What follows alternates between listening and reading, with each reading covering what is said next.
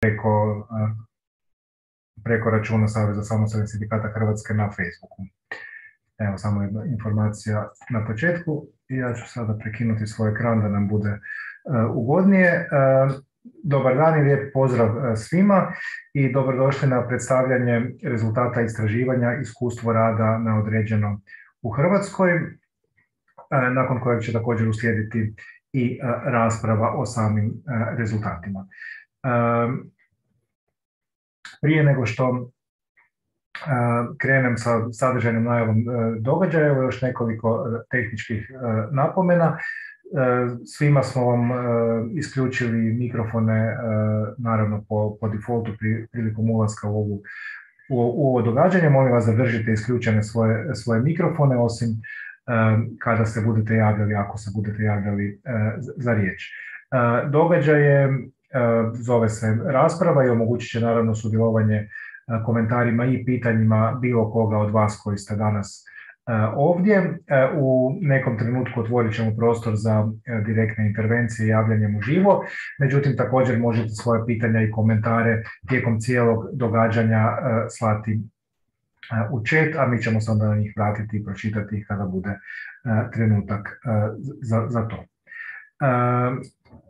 Tribina predstavljanja rezultata istraživanja i, ovoga, i rasprava koje danas organiziramo odvijaju se u, sklopu projekta Rad po mjeri čovjeka, projekta sufinanciranog sredstvima Europske unije iz Europskog socijalnog fonda.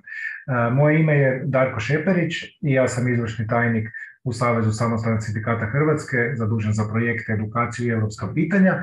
Ujedno sam i voditelj ovog projekta i tako me dopala i dužnost da budem domaćin ove, ovog današnjeg događanja.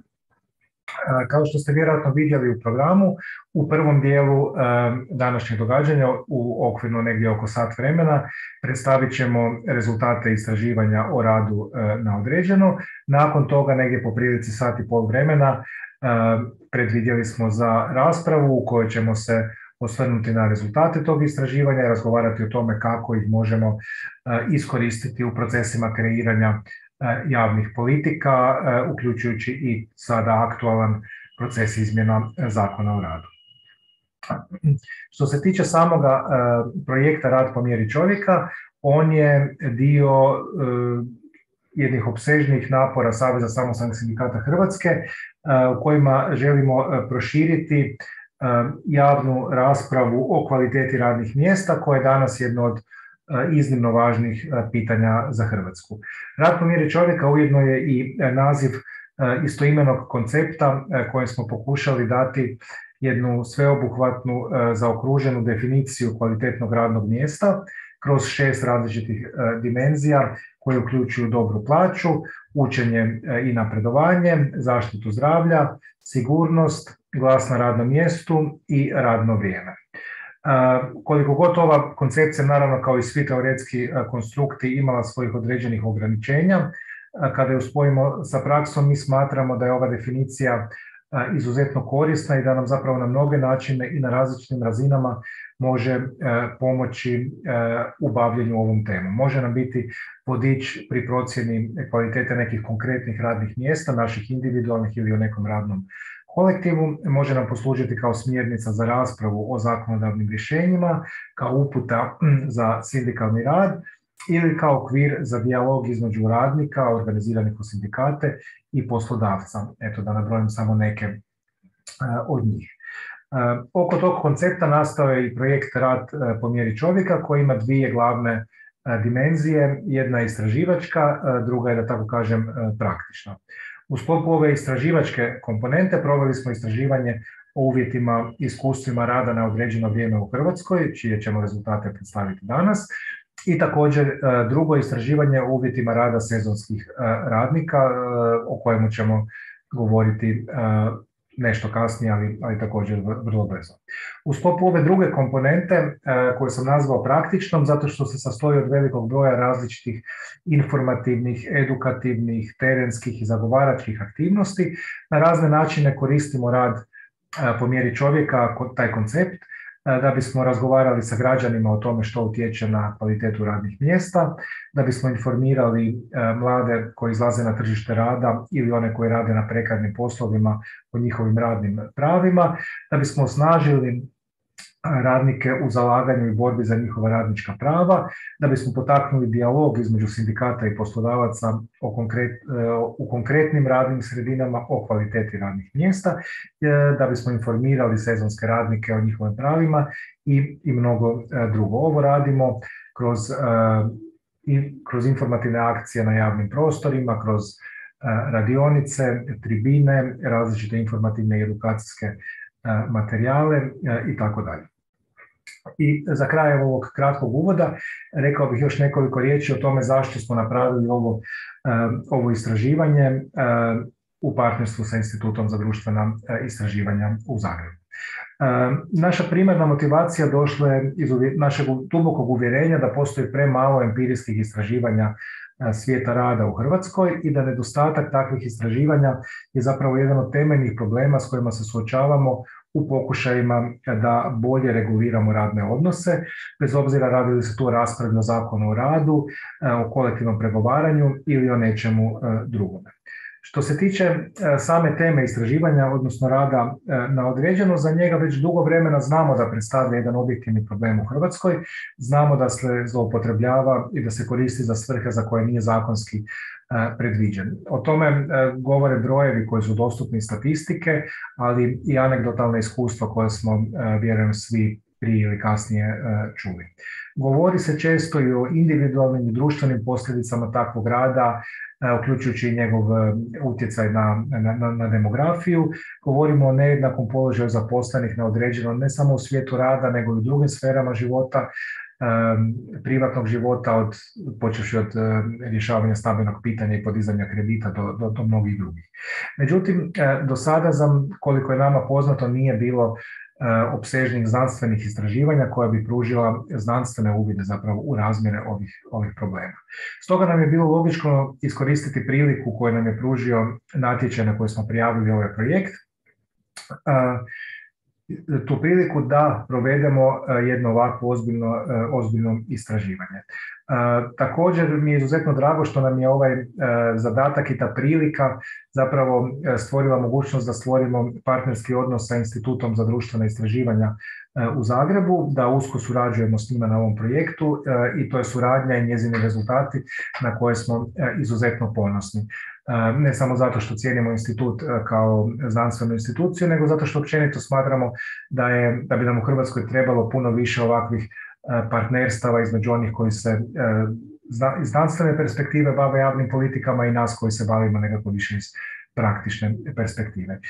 I evo, da ne duljim dalje, dao bi riječ gospodinu Borisu Jokiću, ravnatelju instituta, da vam se i on za početak ovog događanja obrati.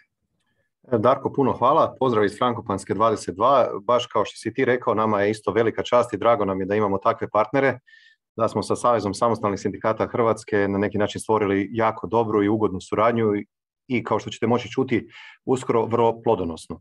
E, pitanje s kojim se istraživanje koje kolege Matković i kolegica Katarina Jaklin e, su vodili od s naše strane je jedno od ključnih zapravo pitanja u Republici Hrvatskoj danas. E, pomalo pocijenjeno, pomalo zanemareno, međutim pitanje ugovora o radu, odnosno ugovora na, određenom, na određeno vrijeme, jest zbilja jedno od ključnih pitanja ne samo pojedinaca, nego i društva. Naime, ako uđemo iz ove psihološke perspektive, nesigurnost nikako ne može biti dobra za pojedinca, a ta nesigurnost koju pojedinac osjeća nikako pak ne može biti dobra onda niti za društvo. Što više, nesigurnost koju nudi ugovor na određeno može biti e, put ka nekim negativnim, e, na neki način posljedicama za društvo, a nikako se ne može odraziti na povećanje solidarnosti, na povećanje zadovoljstva u društvu, niti na povećanje produktivnosti u društvu. Stoga pitanje ugovora na određeno jest jedno od ključnih pitanja i kao što sam rekao, to je izazov koji zahtjeva akciju e, ne samo sindikalnu, ne samo znanstveno, nego i društvenu. Ta akcija bi trebala biti usmjerena ka promjeni zakonske regulative, dakle zakonskim intervencijama, ali i vrlo jasnim socijalnim politikama koje bi išle k tome da se osnaže prava radnika koji imaju ugovore na određeno vrijeme i da se pojača kontrola na neki način uopće i regulira način na koji poslodavci zapošljavaju na određeno vrijeme. Isto tako treba ostaviti mogućnost ugovora na određeno zbog mladih ljudi i onih ne toliko mladih kojima takav aranžman donekle i odgovara. Ukoliko bismo kao društvo na neki način usmjerili e, na osnovu empirijskih rezultata koje ćete vidjeti danas, koji su vrlo, vrlo zanimljivi, od samog povećanja broja ugovora na određeno do profila ljudi koji rade e, e, na takvim ugovorima, do njihovih, ako hoćete, i iskaza u samom istraživanju, kada bismo kao društvo uzeli u obzir njihove perspektive, znanstvene pokazatelje i borbu sindikata pa posebice Saveza samostalnih sindikata Hrvatske, siguran sam da bismo umanjili nesigurnost pojedinca i da bismo imali šansu za to neko zadovoljnije, za neko solidarnije, pravednije, ako hoćete isto tako i produktivnije društvo. Za sam kraj htio bih pohvaliti i zahvaliti svojim kolegicama i kolegama Teu Matkoviću na vođenju, Katarini Jaklin na radu, ali njihovim suradnicama i suradnicima koji su radili na znanstvenoj komponenti ovog projekta i opet pozivam vas da poslušate ove vrlo, vrlo zanimljive rezultate koji imaju značajan uvid u to kako je danas u Hrvatskoj, a još su značajnije implikacije koje ti rezultati mogu imati za budućnost. I hvala još jednom i nadam se budućim suradnjama. Hvala Borise. Evo, prijeći ćemo na, na prvi ovaj sadržajni dio našeg današnjeg susreta, to je predstavljanje rezultata istraživanja. I ja ću za uvod samo reći da je istraživanje e, provedeno tijekom 2021. E, godine i da je naše sveukupno istraživanje uključilo izvorno anketno istraživanje o iskustvu rada na određeno, pregled dosadašnjih spoznaja o nesigurnim oblicima zaposlenosti u Hrvatskoj, e, sekundarnu analizu ranije provedenih anketnih istraživanja i analizu regulatornog okvira rada na određeno e, u Hrvatskoj i Europskoj uniji. Dakle, kao što možete vidjeti, e, istraživanje je zaista bilo e, sve, sveobuhvatno. Danas ćemo predstaviti najznačajnije rezultate i ujedno najaviti cjelokupnu publikaciju sa rezultatima istraživanja koja će vrlo brzo biti, biti objavljena kroz nekoliko tjedana, znači negdje tijekom, tijekom veljače. Meni je sada preostalo još najaviti tri osobe koje su zapravo napravile najviše e, posla oko samog, e, oko samog istraživanja, a to su Jelena Ostojić sa Filozofskog e, fakulteta u Zagrebu, moja kolegica Sunčica Bernardić iz Saveza samostalnih sindikata Hrvatske i Katarina Jaklin iz Instituta za, za društvena istraživanja u Zagrebu i sada njima prepuštam riječ da, da vas provedu kroz ovo istraživanje i njegove rezultate. Jelena, izvoli. Hvala. Prije svega ću podijeliti prezentaciju. Evo ga. Dakle, prije nego, nego predstavimo rezultate samog istraživanja, što će napraviti Katarina Jaklin kasnije, mi ćemo napraviti ove uvodne dijelove koji su nam na neki način bili u stvari podloga, odnosno što smo sve do sada spoznali i što, koje sve izvore postoje o privremenom radu, odnosno radu na određeno kojim smo se vodili u pripremi samog istraživanja, odnosno kako da proširimo spoznaje, e, spoznaje na osnovu onoga što e, već sada znamo. Nekakva produkcija znanstveno-istraživačka na ovu temu e, u 90. godinama posve izostaje da bi negdje od 2000.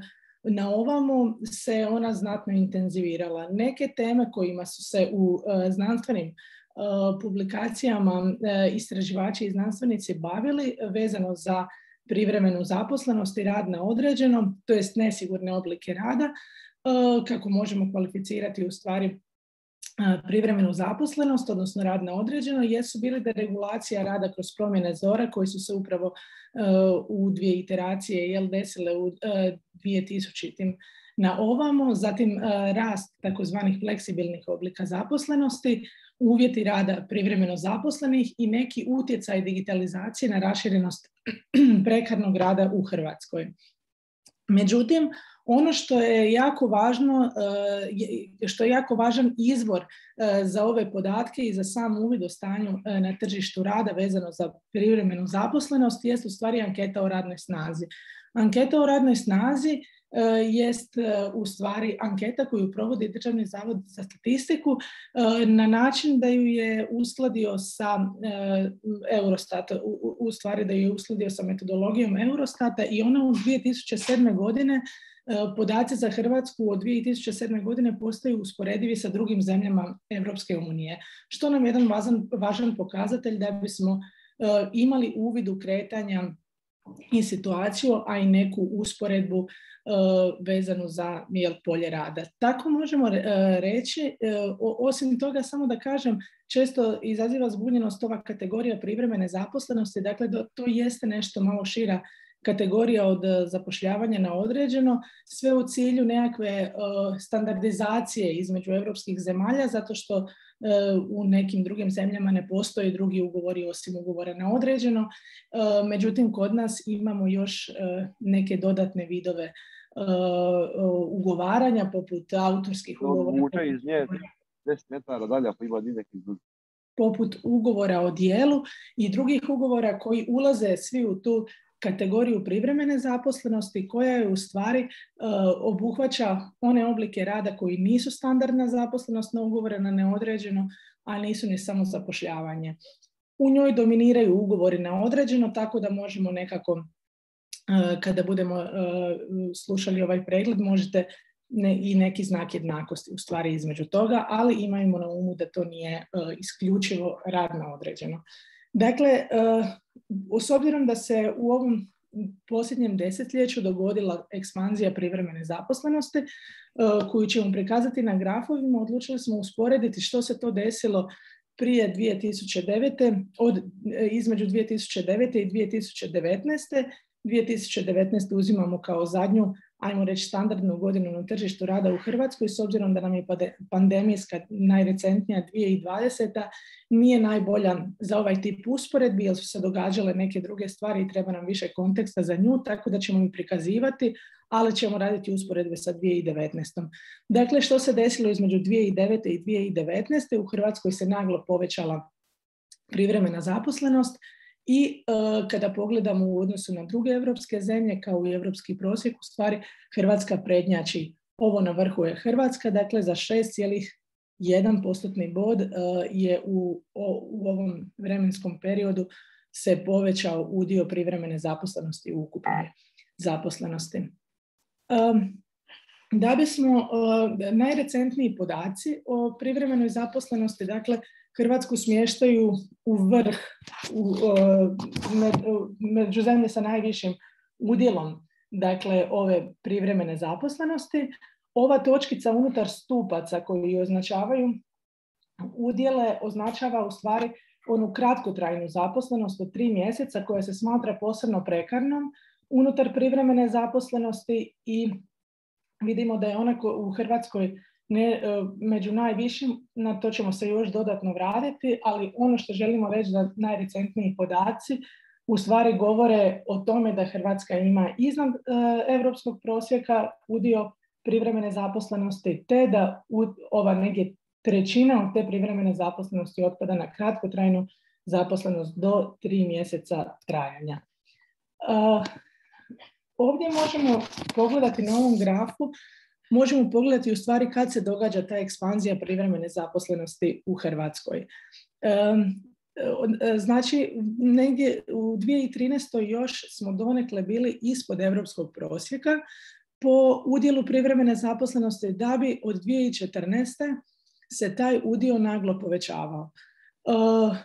Na sivoj isprekidanoj crti možemo pratiti taj rang između europskih zemalja i vidimo da on sa nekih uh, viših, ajmo reći, uh, to jest nižih, ovisni s koje strane gledamo poredak, pozicija unutar poredka dolazi u sam vrh europskih zemalja, odnosno među zemlje sa najvišim udjelima privremene zaposlenosti.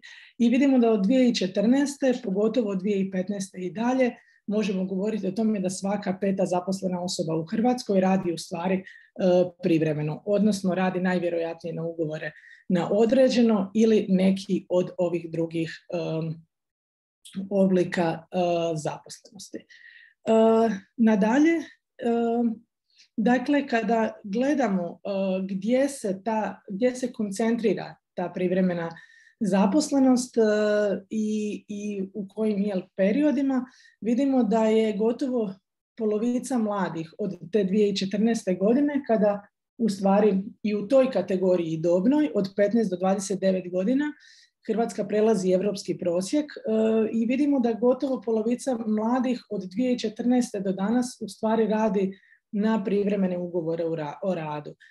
Osim toga, zanimljivo je da povećanje privremene zaposlenosti događa se i među starijom generacijom radnika i radnica e, i to u recentnijem periodu.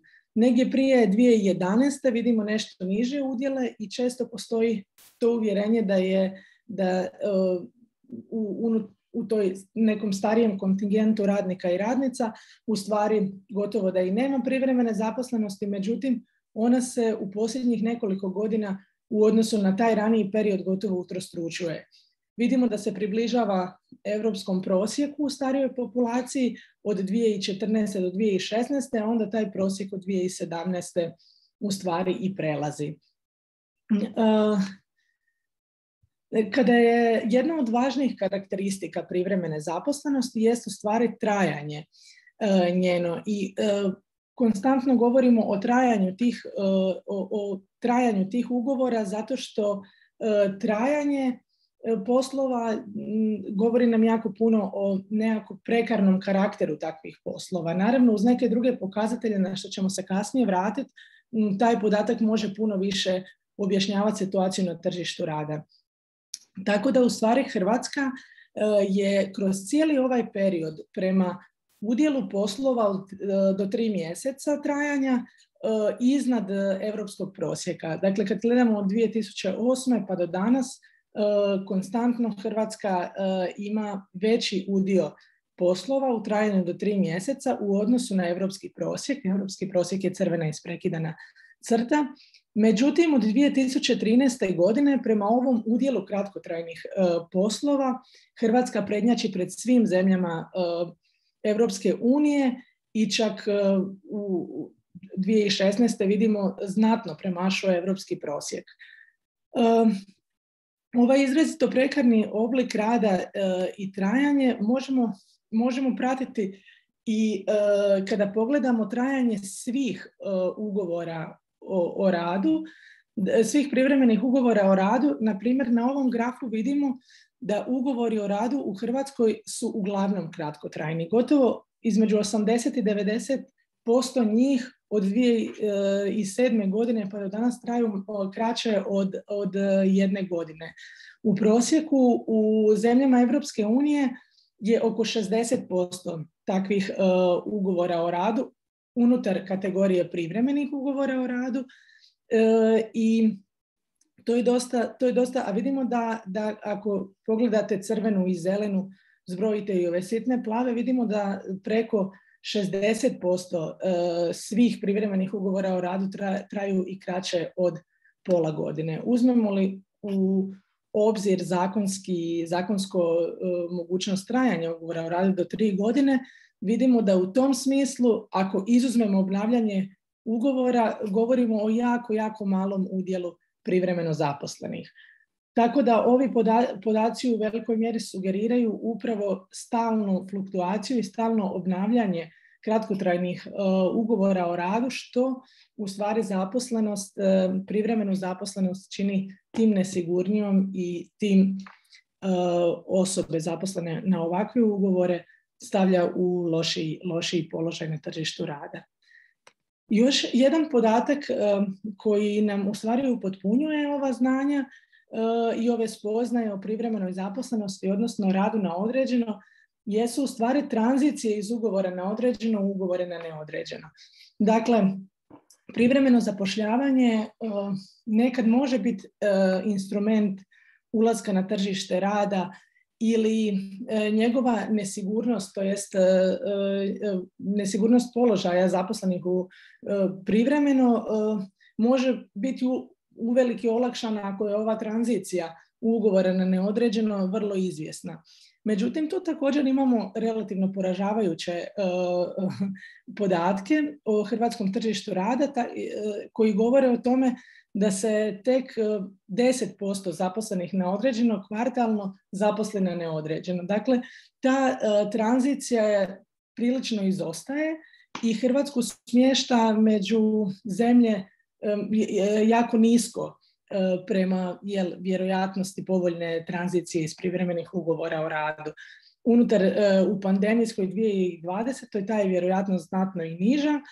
Međutim, kad gledamo, kad gledamo po dobnim skupinama, dakle imamo ovu mlađu skupinu radnika i radnica koji su jel, i u puno većoj mjeri zaposleni na privremene ugovore o radu i od, između 2016. i 2019. vidimo da se taj postotak je prvih godina bio 10%, nešto se malo povećao za 2 do 3 postotna boda, dok za stariju skupinu radnica i radnika koji su rijeđe zaposleni privremeno, njihova tranzicija je još teža na ugovore na neodređeno. Tako da vidimo da taj položaj za njih može biti posebno, posebno neugodan, iako je riječ u oba slučaja o vrlo niskoj vjerojatnosti tranzicija.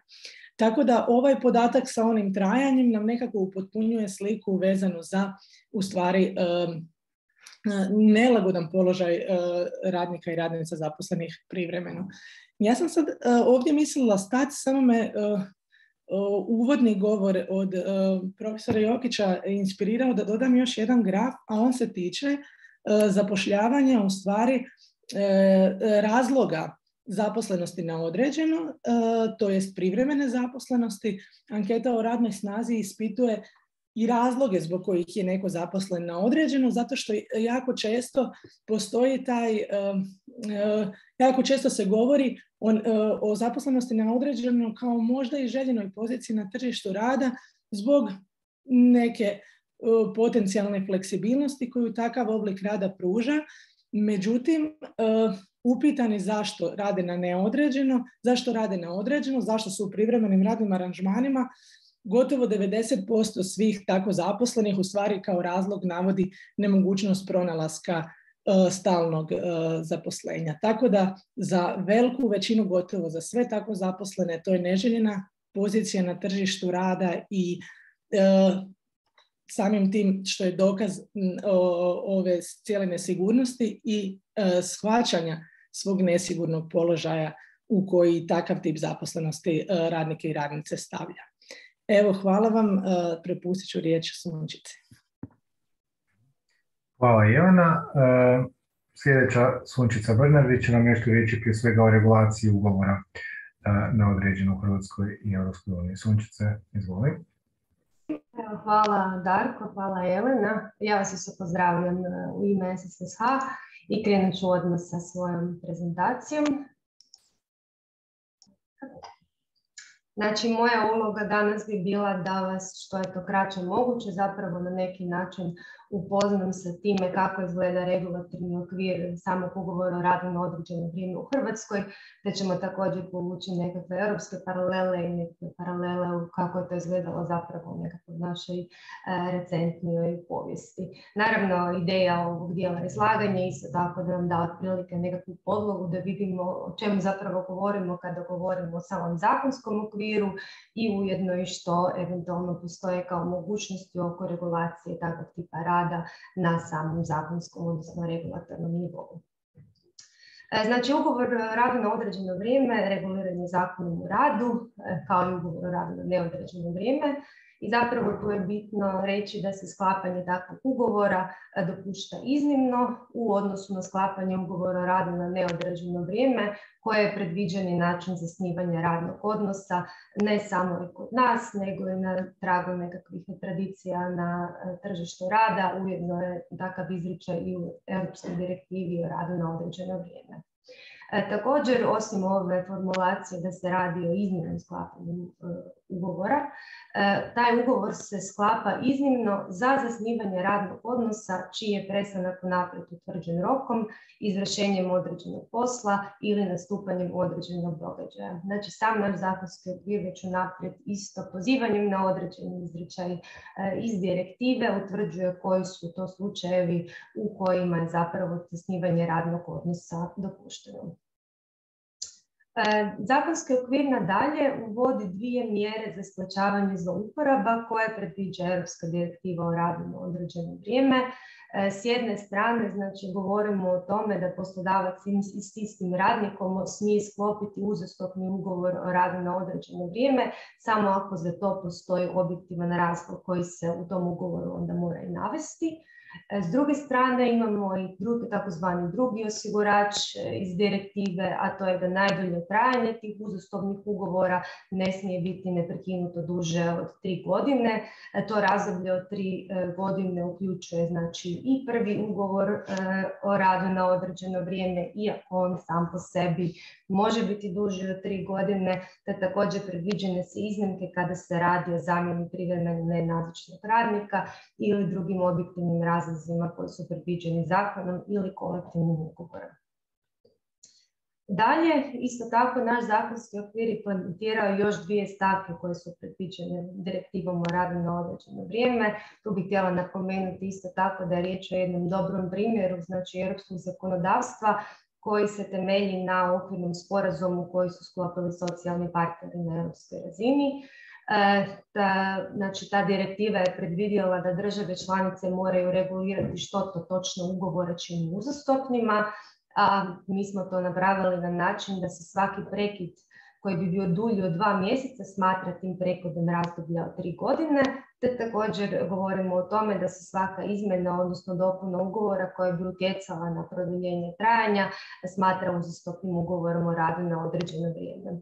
Također još jedno pitanje koje je potrebno regulirati, koje smo mi također to napravili svojim zakonom, e, je pitanje kada se ugovori o radu sklopljeni na određeno vrijeme smatraju ugovorima o radu na neodređeno vrijeme. E, o tome imamo zakonsku odredbu koja kaže da ako je ugovor o radu sklopljen protivno odredbama ovog zakona ili ako je radnik nastavio raditi kod poslodavca i nakon isteka roka na koji je ugovor sklopljen, taj će se ugovor e, smatrati e, sklopljenim na neodređeno vrijeme.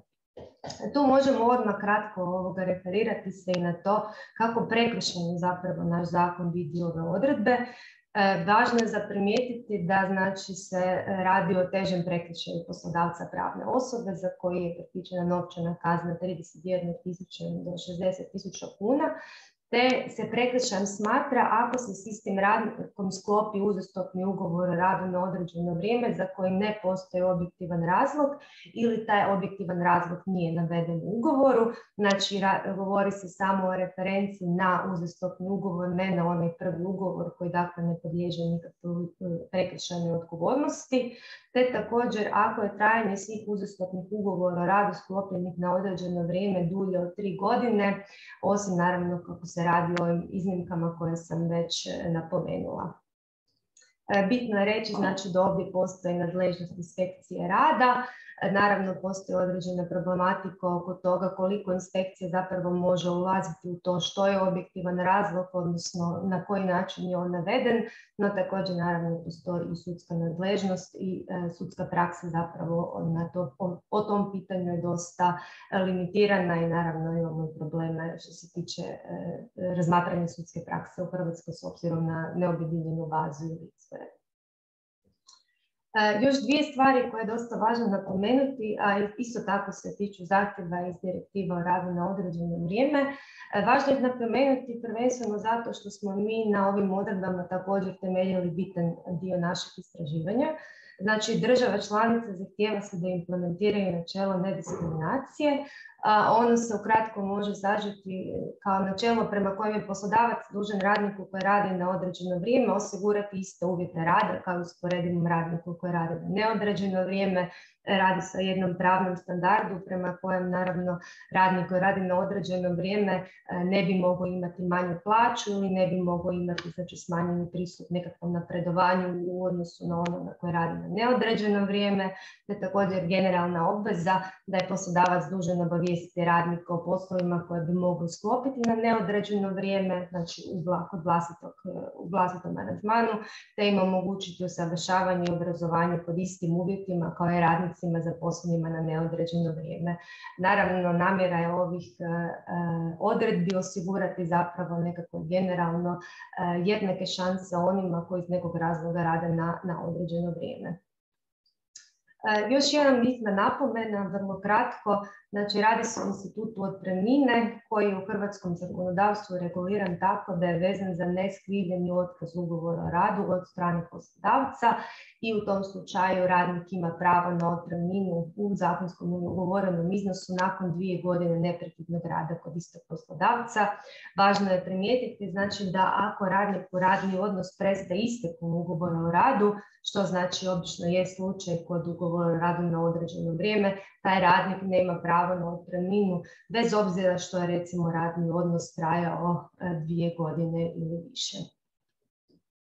E, na posljedku još možda samo nekoliko kratkih referenci, a to je zapravo, sad sam već spominjala nekoliko puta tu direktivu o radu na određeno vrijeme i činjenicu da su europska zakonodavstva harmonizirana znači prema odredama e, koje su u njoj na neki način određene, no ono što je bitno da zapravo svaka država članica samostalno regulira opravdanost zapošljavanja na određeno vrijeme i zapravo na europskoj razini možemo pratiti e, jednu visoku razinu aktivnosti u ovom područjima, relativno česte izmjene i zakonskog okvira, ali naravno i kolektivnih ugovora, a to pogotovo znači treba promatrati u kontekstu e, borbe protiv prekarnosti gdje vidimo ozbiljne posljedice na nacionalnim tržištima, ali u kontekstu znači novih socijalnih politika poput Europskog stupa za socijalna prava koje naravno e, direktno referira to da se mora poticati e, prelazak na sigurne oblike rada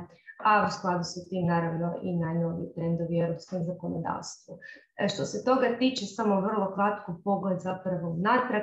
Do 2003. godine u hrvatskom zakonodavstvu mi smo imali jednu enumeriranu listu dopuštenih razloga za zapošljavanje na određeno, znači bilo je konkretno da se zapošljavanje na određeno dopušta za sezonski rad, projektni rad i tako dalje. E, od 2003. godine na račun implementacija KIA, znači imamo promjenu u ovaj izričaj koji sam na početku spomenula, sa referencom da se traži objektivni razlog i za sklapanje prvog ugovora o radu na određeno vrijeme.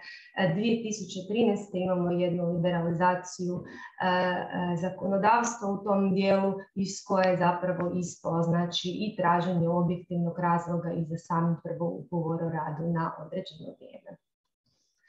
Što se tiče komparativne prakse, u ovom istraživanju imali smo priliku malo promatrati bazu ALO-a i, i ovoga prilike vidjeti o čemu se radi. U samoj publikaciji izdvojili smo detaljne nekakve primjere. Ja bih vas samo kratko, čisto ilustrativno zapravo kroz nekakve trendove ili pregled. Jako je teško izvoditi nekakve snažne zaključke budući da svaka država zapravo s obzirom i na svoje prilike na različiti način kombinira ta tri osigurača iz direktive, ovisno i tome na koji način su definirali razloge za sklapanje ugovora na određeno ili konkretno recimo prvog ugovora na određeno vrijeme. E, što se tiče samih razloga koji se traži za sklapanje ugovora na određeno ili prvog ugovora na određeno vrijeme, otprilike polovica država članica traži takve razloge, bilo da se radi pozivanjem na objektivni razlog ili onome numeracijom, znači konkretnim navođenjem razloga izričito zbog koji se dopušta sklapanje takvog ugovora. Tu treba napomenuti da otprilike ova druga polovica država članica ako to ne radi, u principu to ne radi zbog činjenice e, da znači vrlo, vrlo strogo ili na druge načine reguliraju e, koliko znači dopušteno tih ugovora na određeno. E, treći osigurač iz direktive o kojem će isto također sigurno biti govora danas je tako, e, osigurač koji se odnosi na zapravo maksimalni broj ugovora na određeno po samom radniku.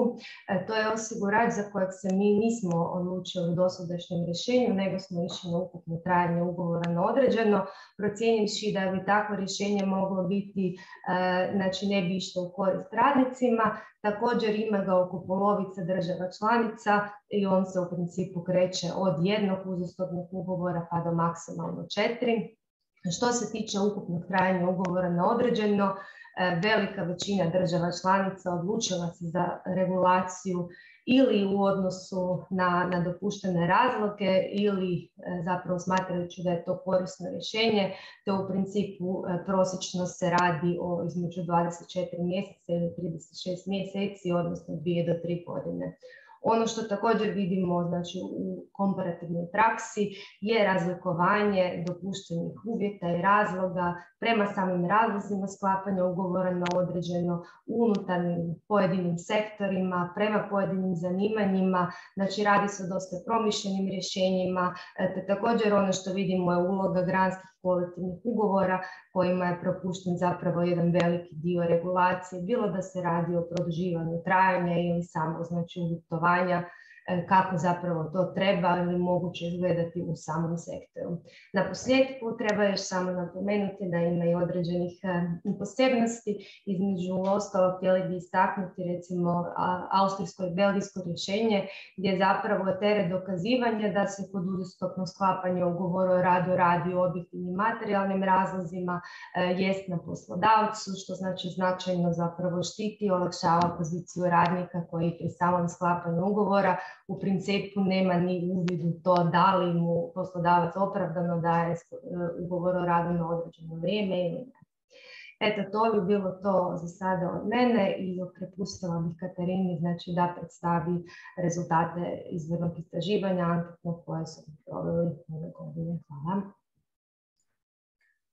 Hvala Sunčice i evo došli smo i do trećeg i na neki način finalnog dijela predstavljanja rezultata istraživanja.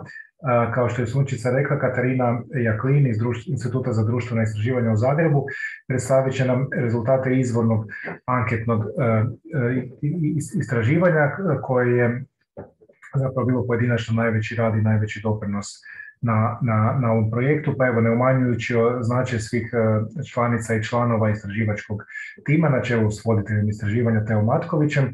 Ja moram ovdje reći da je Katarina ipak odradila na istraživanju najveći dio posla i zapravo proteklih devet mjeseci provela radeći isključivo e, na, na istraživanju. E, Katarina, izvoli.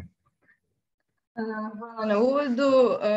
Prvo velik pozdrav svima i hvala što ste došli. Hvala Sunčici Jeleni i Darku na uvodu. Znači, ja ću odmah šerati prezentaciju.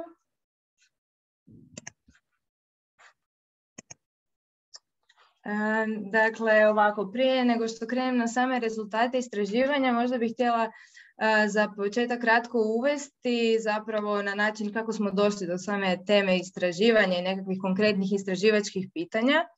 E, dakle, kad smo započeli s projektom, odnosno s istraživačkim dionicama projekta, projekt je krenuo nešto ranije, s istraživačkim dionicama smo krenuli u prvom mjesecu prošle godine. E, zapravo pred sobom smo imali podatke nekog e, ranijeg istraživanja SSSH iz 2018. godine u kojem je bilo istraživano zadovoljstvo i kvaliteta radnih mjesta u Hrvatskoj. Znači to je već ranije Darko spomenuo da smo radili sekundarnu analizu E, tih podataka i zapravo smo htjeli vidjeti razlikuju li se i u kojoj mjeri uvjeti rada i kvaliteta zaposlenosti zaposlenih na određeno i neodređeno. I rezultate te analize smo zapravo već predstavili na jednoj isto online tribini koja je bila u trećem mjesecu prošle godine.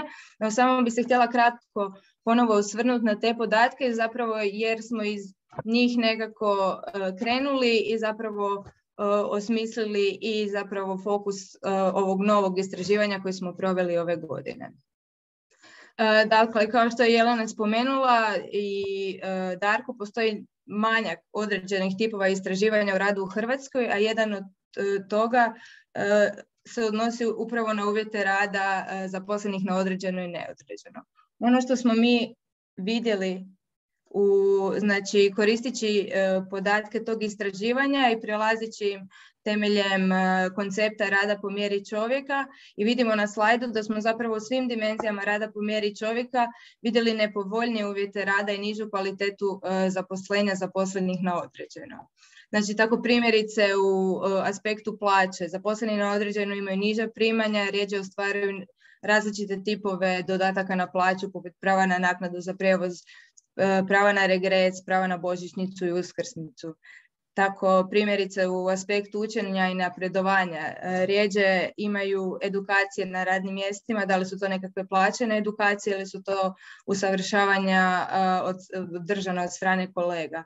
Također rijeđe rade u struci i češće su prekvalificirane za svoje poslove. Znači u svakom zapravo od svojih aspekta vidimo da postoje da postoji zapravo negativan e, položaj zaposlenih na određeno. E, ono što ove boje znače, znači ove naranđaste i crvena, znači zapravo da određeni negativni, nepovoljni aspekti uvjeta rada zaposlenih na određeno proizlaze iz samih uvjeta, samih, same vrste ugovora, dok su određeni, dok su drugi zapravo više odrednica nekakvih karakteristika zaposlenih na određeno ili e, organizacija u kojima rade.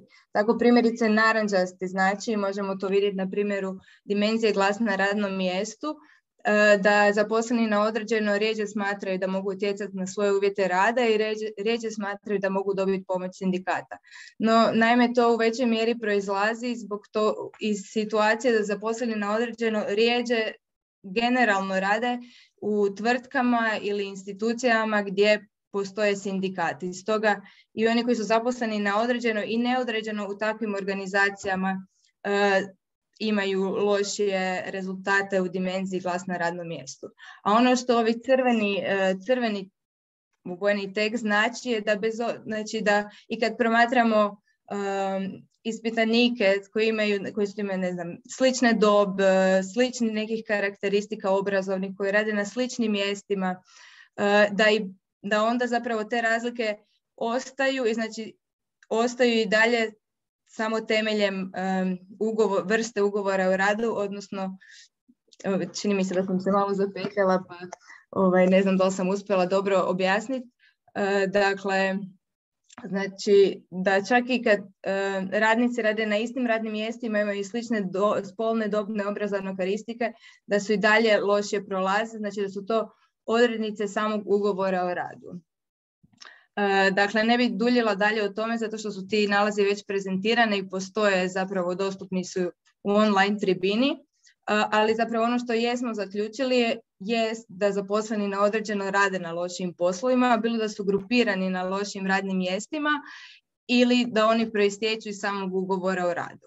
Ali ono što zapravo temelju ovih podataka nismo mogli zaključiti da li se radi direktno o diskriminaciji ili nepovoljnim uvjetima radu na način koji to definira zakon o radu i o kojem je Sunčica e, sad prišala, zato što ta definicija podrazumijeva da postoji usporedba sa radnicima, uh, stalno zaposlenim radnicima na sličnim radnim mjestima. I to je zapravo bio uh, jedno od istraživačkih uh, pitanja i jedno od ulaznih točka istraživanja u koje smo krenuli.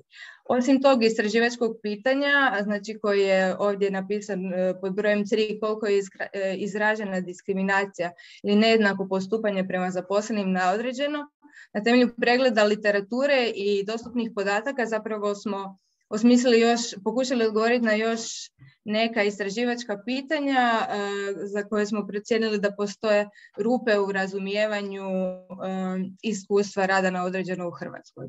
To su, e, kao što piše na slajdu, koliko je česta pojavnost rada na određeno u kontekstu karijere i zapravo postoje li razlike među generacijama, koji su zapravo razlozi zapošljavanja na određeno, te postoje li razlike među različitim oblicima zapošljavanja na određeno, posebice u vidu ishoda i nejednakog postupanja i slično.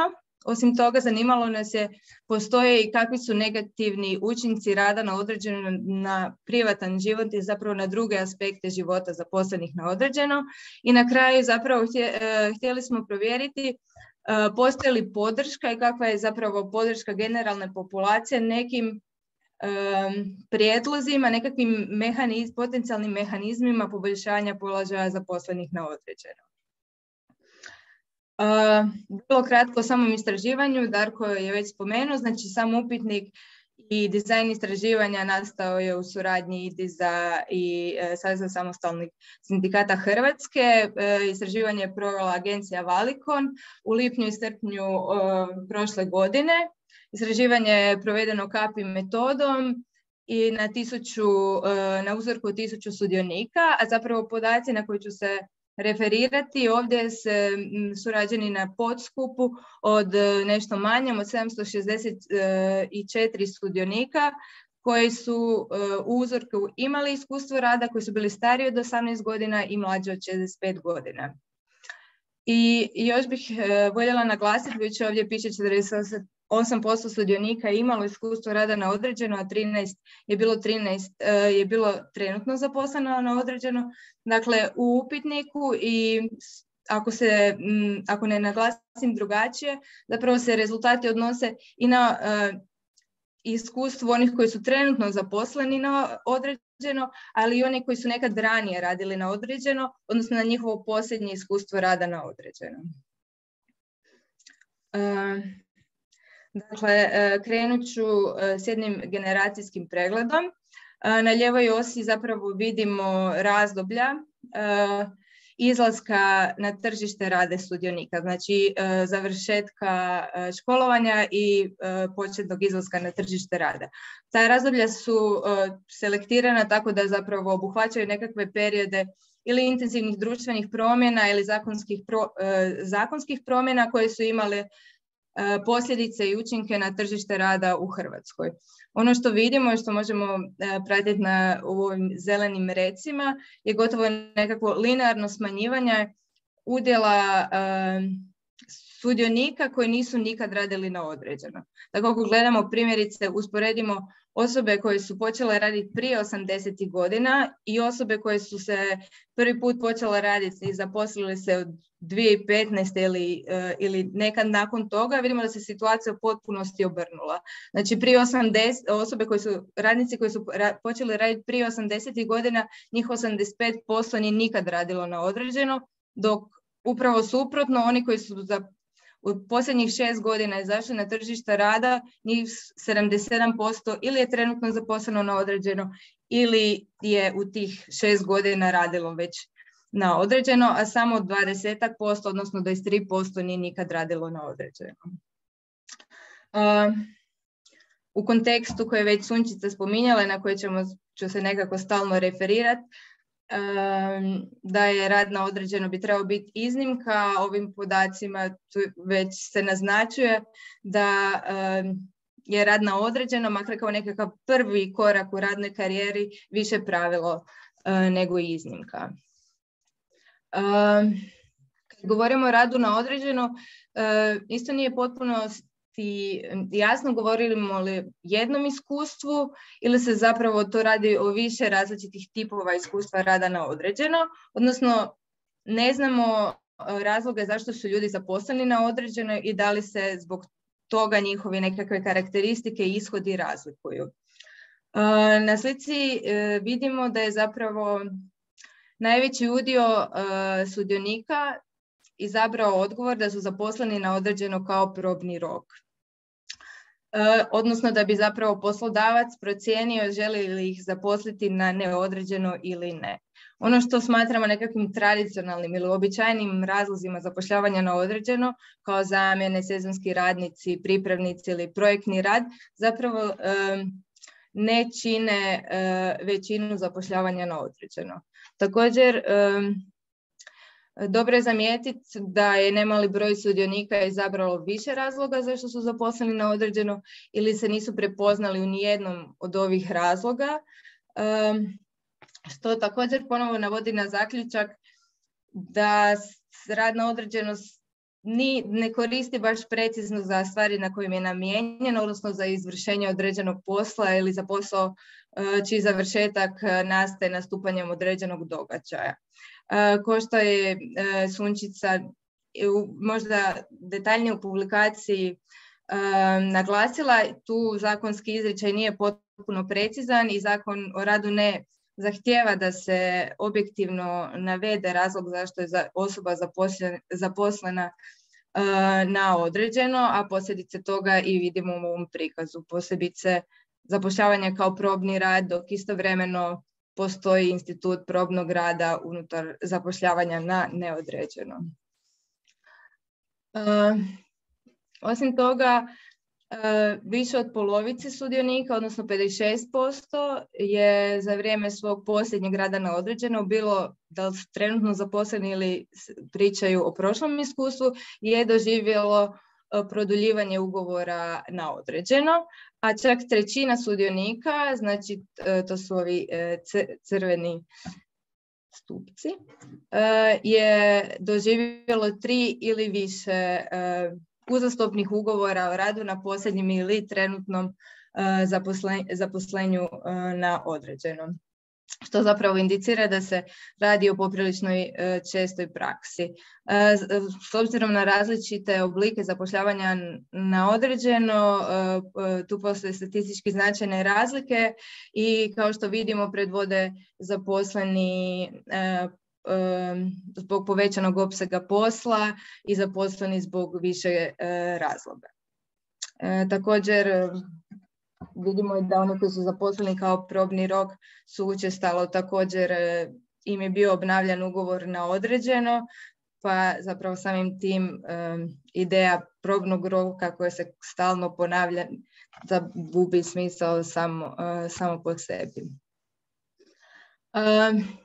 Vrsta rada na određeno zapravo utječe i na vjerojatnost ishoda, da li e, pozitivnih, odnosno negativnih ishoda rada na određeno. Kad govorimo o pozitivnim ishodima, e, tu mislimo na zapošljavanje na neodređeno, bilo kod istog poslodavca ili kod sljedeć, e, ili na sljedećem radnom mjestu kod drugog poslodavca. Znači, na, ovoj, na, ovom slajdu vidimo udjele pozitivnih ishoda za one koji su trenutno zaposleni na određeno, no budući da ne znamo njihove ishode, radi se o njihovim procjenama ishoda.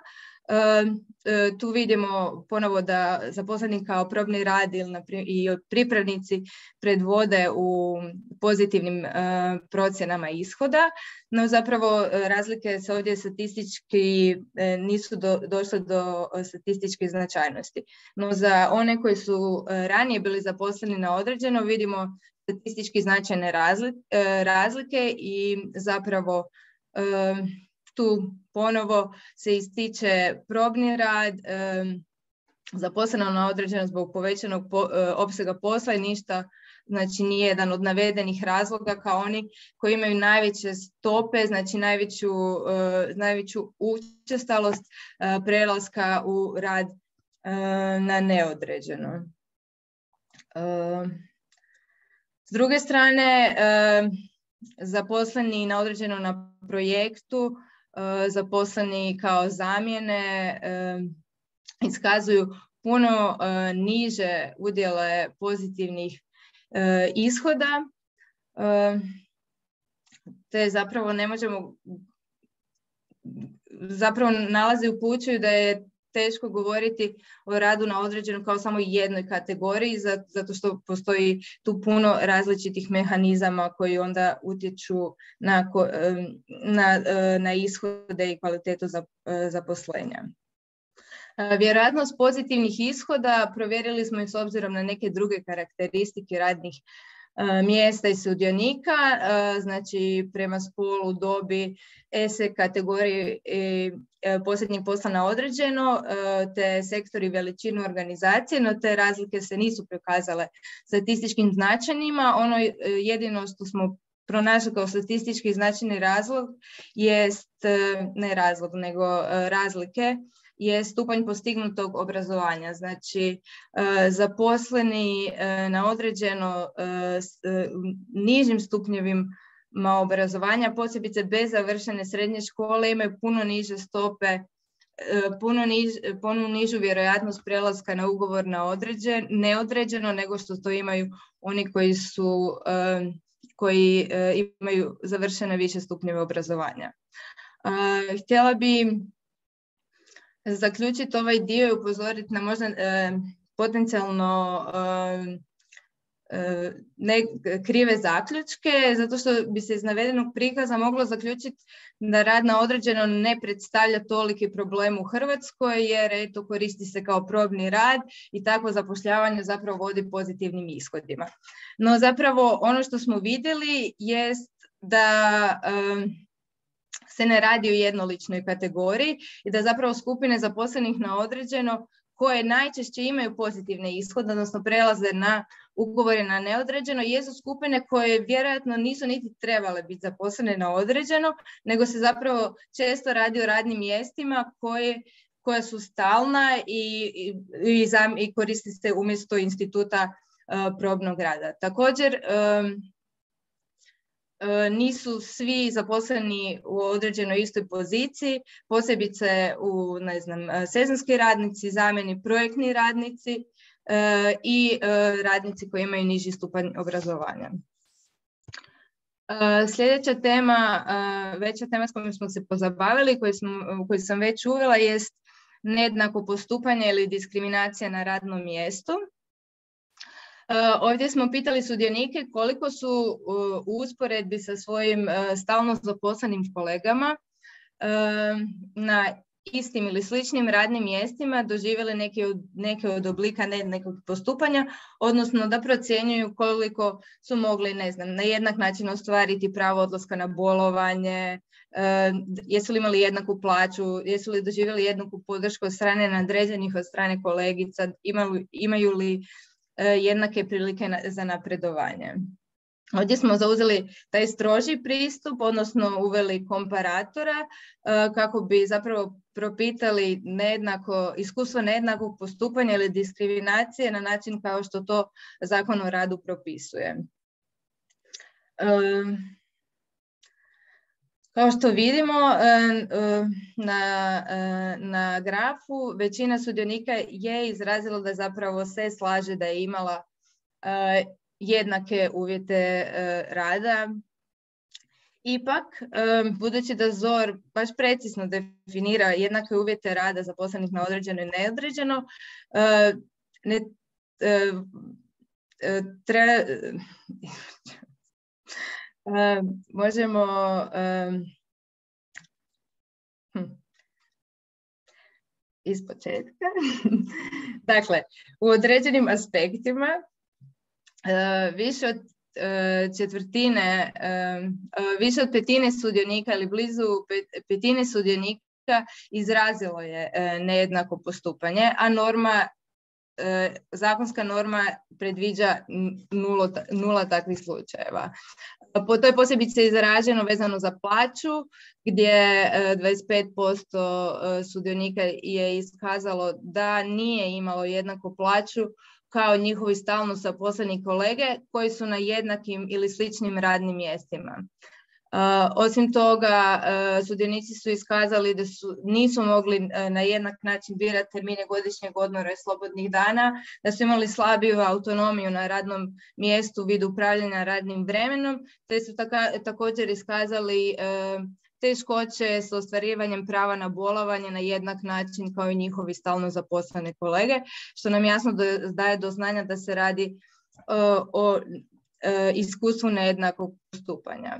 Ako gledamo skupno te e, rezultate, možemo vidjeti da je gotovo polovica, odnosno 46% doživjela neki oblik E, nejednakog postupanja e, na svom e, radnom mjestu, a gotovo trećina više od jednog oblika nejednakog postupanja.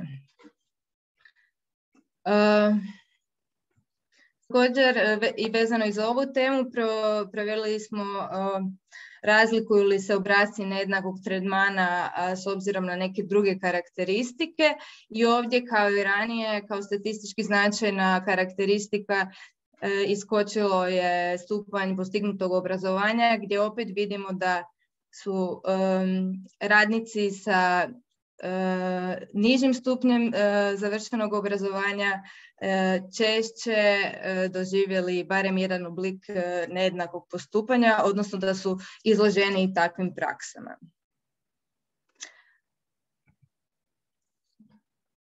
Sljedeća tema koju smo u ovoj istraživanju se pozabavili jest utjecaj posla na druge aspekte života. Znači, na slici su prikazani u, o kojim smo to aspektima na koje smo aspekte života mislili, te su zapravo pri, razvojeno prikazani e, dvije skupine radnika s, obzirom na dob, odnosno radnici mlađe od 35 i oni koji imaju 35 ili više godina, kako bi zapravo odvojili utjecaj dobi od neki na neke od njihovih životnih situacija. Osim toga, ovdje uspoređujemo samo ne trenutno zaposlene, znači trenutno zaposlene na određeno i trenutno zaposlene na neodređeno.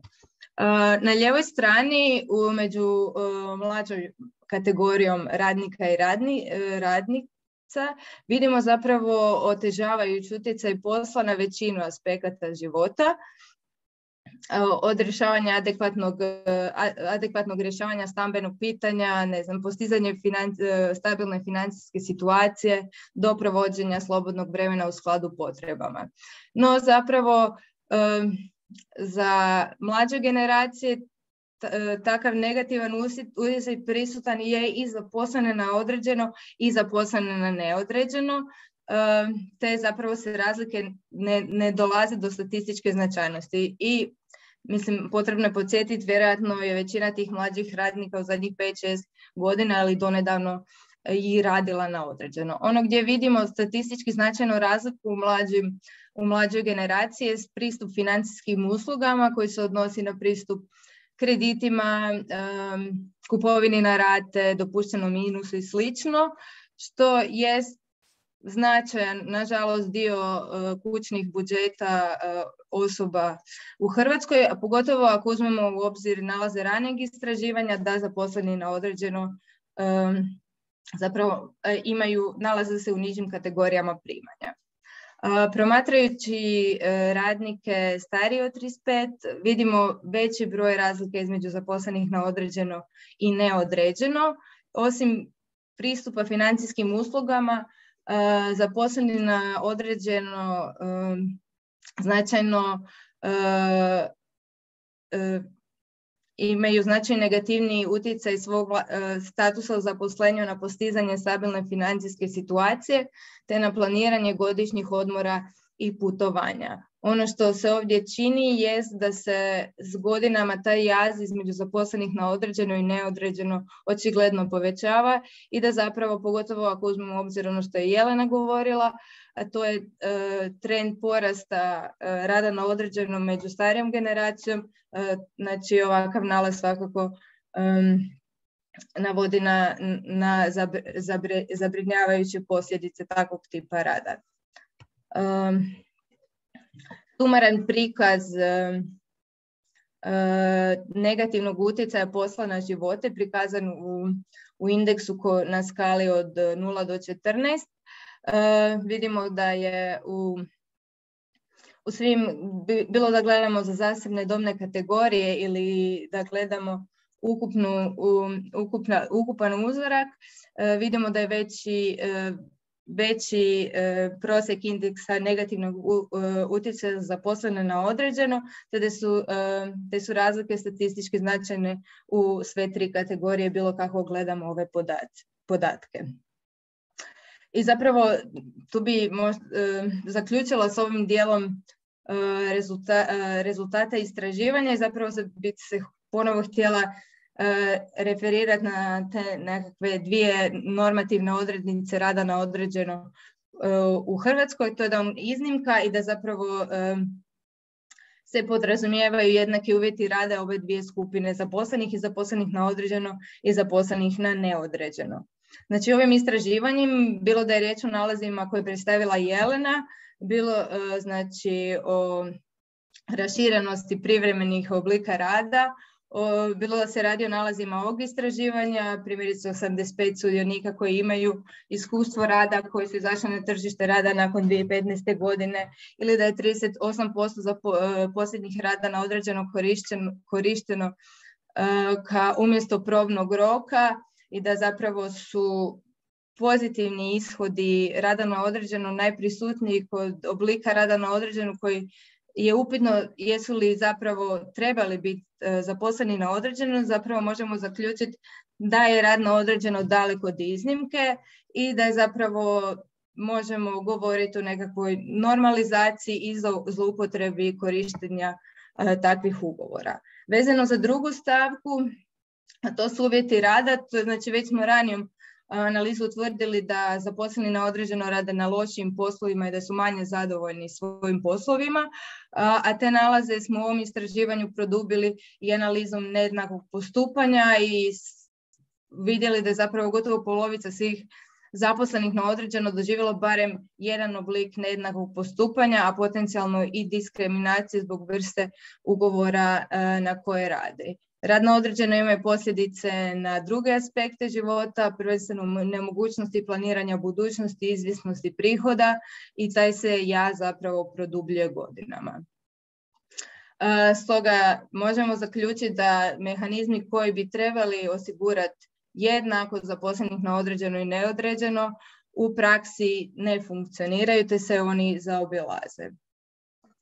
I još bih samo naglasila e, ponovo da nisu svi zaposleni na određenoj u istoj poziciji, da su neke skupine e, takvih radnika više pogođene E, lošim uvjetima rada i negativnim ishodima i nejednakim postupanjima i na to svakako isto treba obratiti pozornost kad govorimo o radu na određeno.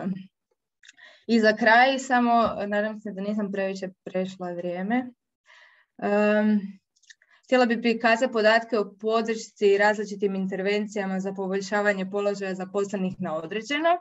Um, one se temelje na nekim od sindikalnih prijedloga intervencija u zakonska rješenja ili nekakvim drugim mehanizmima kontrole uh, rada na određeno te prijedlozima koji su prisutni u javnom i medijskom prostoru kad se raspravlja uh, o radu na određeno. Znači radi se primjerice ono čemu je, uh, što je Sunčica spominjala, uvođenje prava na otpremninu za zaposlene na određene, e, zaposleno na određene, e, smanjivanje staža za ostvarivanje prava za naknadu za nezaposlenost, e, veće kontrole zapošljavanja na određeno, veće kontrole provjere uvjete rada, ograničavanje broja trajanje ugovora na određeno broja, mogućih uzastopnih ugovora na određeno i slično ono što vidimo jest vrlo visoka podrška gotovo svim od ovih prijedloga. Ona je u nekim slučajevima nadpolovična ili blizu nadpolovična, znači e, gdje sudionici istraživanja e, smatraju da bi takvi prijedlozi izrazito pomogli unaprijediti položaj zaposlenih na određeno.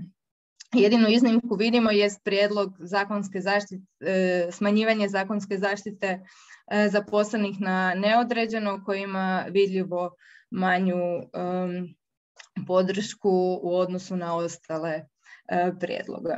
I još bi tu samo htjela reći da se ovdje zaposleni na osobe koje imaju iskustvo rada na određeno i one koji nemaju ne razlikuju statistički značajno, odnosno da je zapravo podrška ovakvim prijedlosima nekako e, široko rasprostranjena i od načina među različitim kategorijama radnika i radni, e, radnica, te samo iskustvo Osobno iskustvo rada na određeno nije, nije važno, vrlo vjerojatno i zbog takve nekakve raširenosti i normalizacije rada na određeno koje je takav rad učinila i položaj e, za položaj zaposlenih na određeno učinila bliskima i oni koji to iskustvo nisu direktno imali. I tu bih završila. E, e, hvala.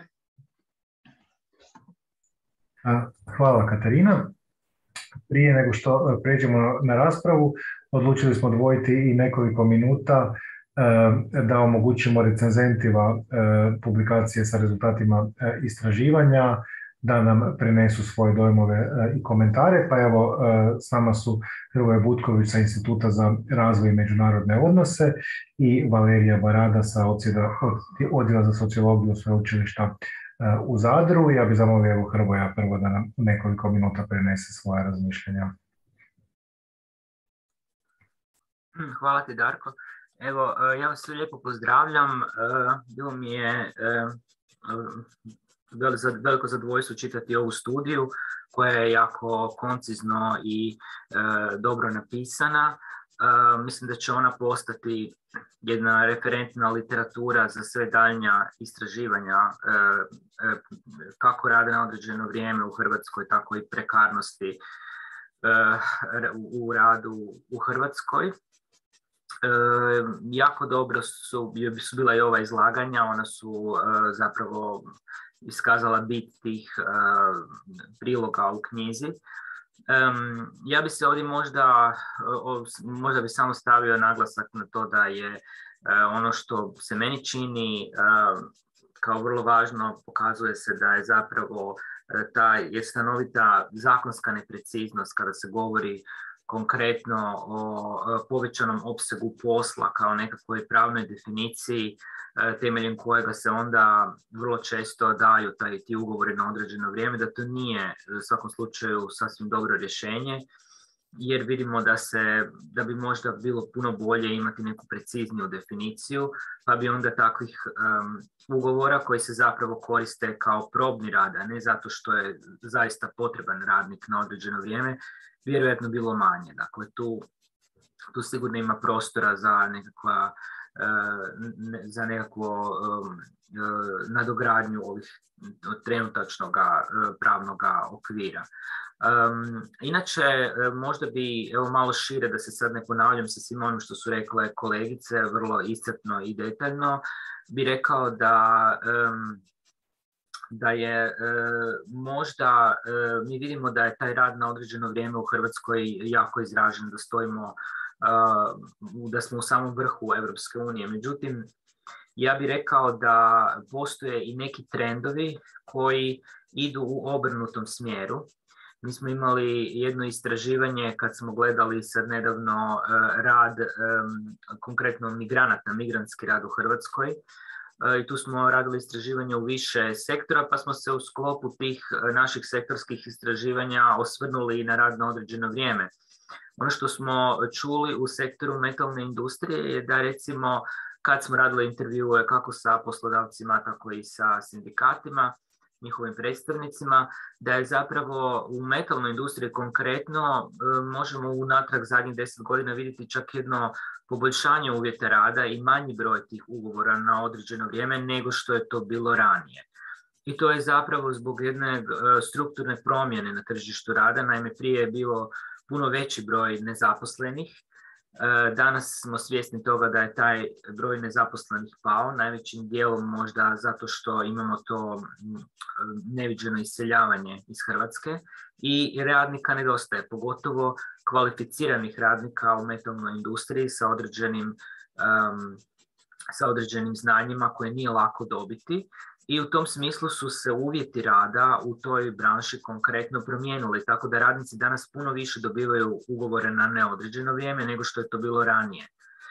Um, dakle, nekako se probudila svijest o tome da e, taj ugovor na određeno vrijeme može biti i loš za poslodavca, jer on e, nekako radniku daje psihološki veću slobodu da on traži dalje i možda nekakav drugo, drugi svoj posao, a e, poslodavac koji je recimo konkretno kao u metalnoj industriji godinama ulagao u takvog radnika, onda gubi ako on ima 5-6 godina radnika i nakon toga on odlazi negdje drugdje u Njemačku ili na neki možda bolje plaćeni posao, e, a sve to kad bi postojao ugovor na neodređeno vrijeme, onda zapravo on na neki način, naravno niti to nije e, garancija da radnik neće otići, ali je e, radnik se osjeća sigurnije i osjeća neku veću povezanost sa poslodavcem. Evo to bi rekao. Što se tiče metalne industrije, a onda smo malo gledali i neke druge sektore, pa bi nešto rekao možda vrlo kratko samo i za to. Na primjer,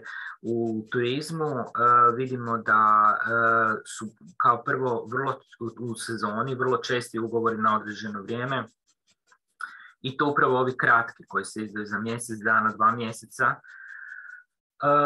a ono što bi se moglo u većoj mjeri koristiti to je ugovor za stalnog sezonca koji je jedan derivat ugovora na određeno vrijeme, ali koji je puno povoljniji za radnika jer e, vi na taj način zapravo e, radniku se osigurava da će on u idućoj sezoni ponovno naći posao kod istog poslodavca. Taj poslodavac tokom godine kad radnik ne radi plaća doprinose za tog radnika, a sam radnik e, dobiva određenu naknadu od države u, u dijelu godine kad ne radi. I to je onda e, zapravo nešto što poslodavcu e, osigurava da će imati radnu snagu iduće godine i to radnu snagu koja je obučena i na koju može računati. E, radniku daje sigurnost da će idući sezone opet moći dobiti posao i taj se zapravo oblik zapošljavanja premalo koristi kod nas u turizmu to bi trebalo na neki način poticati. Vezano uz možda još graditeljstvo, rekao bi samo jednu stvar, da tu imamo e, veliko, e, veliki dio stranih radnika i to u zadnjih, unatrag e, zadnjih godina sve više i više i da su neka predviđanja da ćemo za nekih deset godina možda čak većina radnika će sigurno biti strani radnici u tom smislu e, tu je vrlo važna uloga agencija za posredovanje e, u zapošljavanju jer vrlo često te agencije onda dovode te strane radnike na naše tržište rada. Ti strani radnici e, sve većim dijelom nisu ovoga nisu čak, mislim oni su još uvijek velikim dijelom iz regije, ali sve više i više su iz ovih nekih daljnjih dalekih država i u tom smislu bi trebalo možda proći ponovno vidjeti na koji da li se optimalno provodi taj proces certificiranja tih agencija, da li one stvarno sve zadovoljavaju te uvjete koje bi se trebali od njih tražiti ili, ili ih zapravo ima previše i mnoge od njih ne rade u skladu sa zakonom. Evo. Pa da sad više ne duljim, ovo sam samo htio malo možda vam proširiti e, stvari s nekim istraživanjima koje mi radimo, a što se veže na ovu temu. Jel možemo možda nešto više ako vas zanima u raspravi. Hvala. Hvala Hrvoje. Valerija? Hvala. E, evo pozdravljam svih e, iz Zadra, a poseban pozdrav autoricama i autoru publikacije i zapravo zahvala da su mi dali ovo povjerenje da pročitam publikaciju i da je e, recenziram jer sam zaista kroz e, rad na ovoj publikaciji čitanje puno saznala, naučila i nadogradila nekakvog svog znanja, ali mogu reći da sam se dijelom i zabrinula što smo mogli prvenstveno vidjeti, vjerujem da ste i vi zapravo mogli vidjeti iz e, prvenstveno predstavljanja kolegice Jaklin o podacima naravno kako smo vidjeli podatke oko rada na određeno. Da kako ovo što je kolega Butković rekao nadopunjuje sliku i zaista pokazuje da se radi o jednom kompleksnom i važnom procesu u Hrvatskoj. Međutim, ja ću ovdje, za razliku od kolege Butkovića, neću nadopuniti podatke, nego ću se osvrnuti na par elemenata koji se tiču zapravo same publikacije. Zapravo danas bi e, u ovom svom kratkom osvrtu htjela izdvojiti nekoliko elemenata, odnosno dati jednu tvrdnju, dvije procjene i za kraj sam si ostavila jednu želju. Znači tvrdnju, dvije procjene i jednu želju. Za početak zapravo želim ustvrditi da ova publikacija o kojoj smo imali prilike čitati kolega Butković i ja za početak prvi, a vi ste e, ovdje danas čuli e, rezultate e, i sadržaj te publikacije na usmeni način, zaista mogu ustvrditi da se radi o jako relevantnoj publikaciji što ne govorim samo prigodno ili svečarski s obzirom da smo u ovom kontekstu, nego zaista e, e, jeste vrijedna publikacija jer donosi čitav niz važnih podataka, analiza, poveznica, naznaka procesa transformacije rada i učinaka koje promjene regulacije imaju zapravo na svijet rada i na tržište rada. E, ta je sam, tema, reka bih, sama po sebi ključna i tu imam čak i recimo tako privatno istraživački interes jer se i sama bavim istraživanjima rada, doduše u kvalitativnom ovaj, kontekstu i najviše u kontekstu kombinacije rada i roda. Dakle, imam pristrana, sam priznajem, ali su me kolege, e, kolega i kolegice zapravo uvjerili da ta je moja pristranost i utemeljena u relevantnosti i vrijednosti ove njihove publikacije. Jer kažem, sama tema rada jeste ključna i to i zaista da, zbog toga što pratimo dakle i važan je kontekst svijeta rada. Međutim, htjela bih reći da je njihova publikacija zapravo relevantna i vrijedna i u kontekstu demografske slike Hrvatske. To smo nešto čuli i na početku današnjeg izlaganja od ravnatelja Jokića.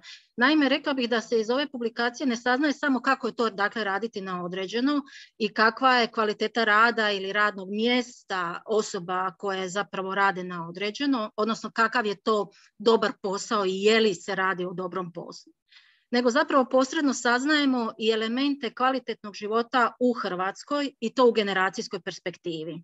E, smatram da je to posebna vrijednost ove publikacije.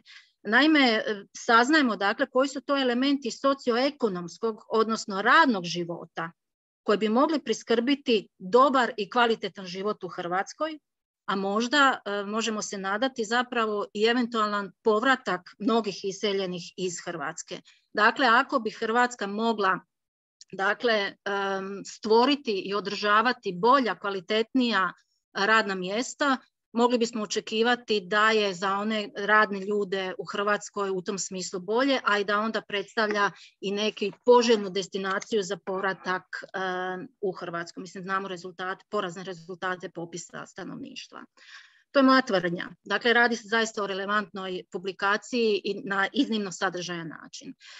Drugo, druge dvije stvari koje želim reći su dvije ocjene ili procjene. Prvo što želim reći, smatram da je ova publikacija i cijeli ovaj projekt, da kako publikacija o kojoj danas ovdje govorimo, sjajan primjer suradnje znanstvenog istraživačkog instituta ili tog sektora i civilnog sektora, odnosno sindikata. I rekla bih, usudila bih se reći da ova publikacija nekako i potvrđuje svrhu i vrijednost tematskih mreža i tih projekata i projektnih linija koje su bile otvorene.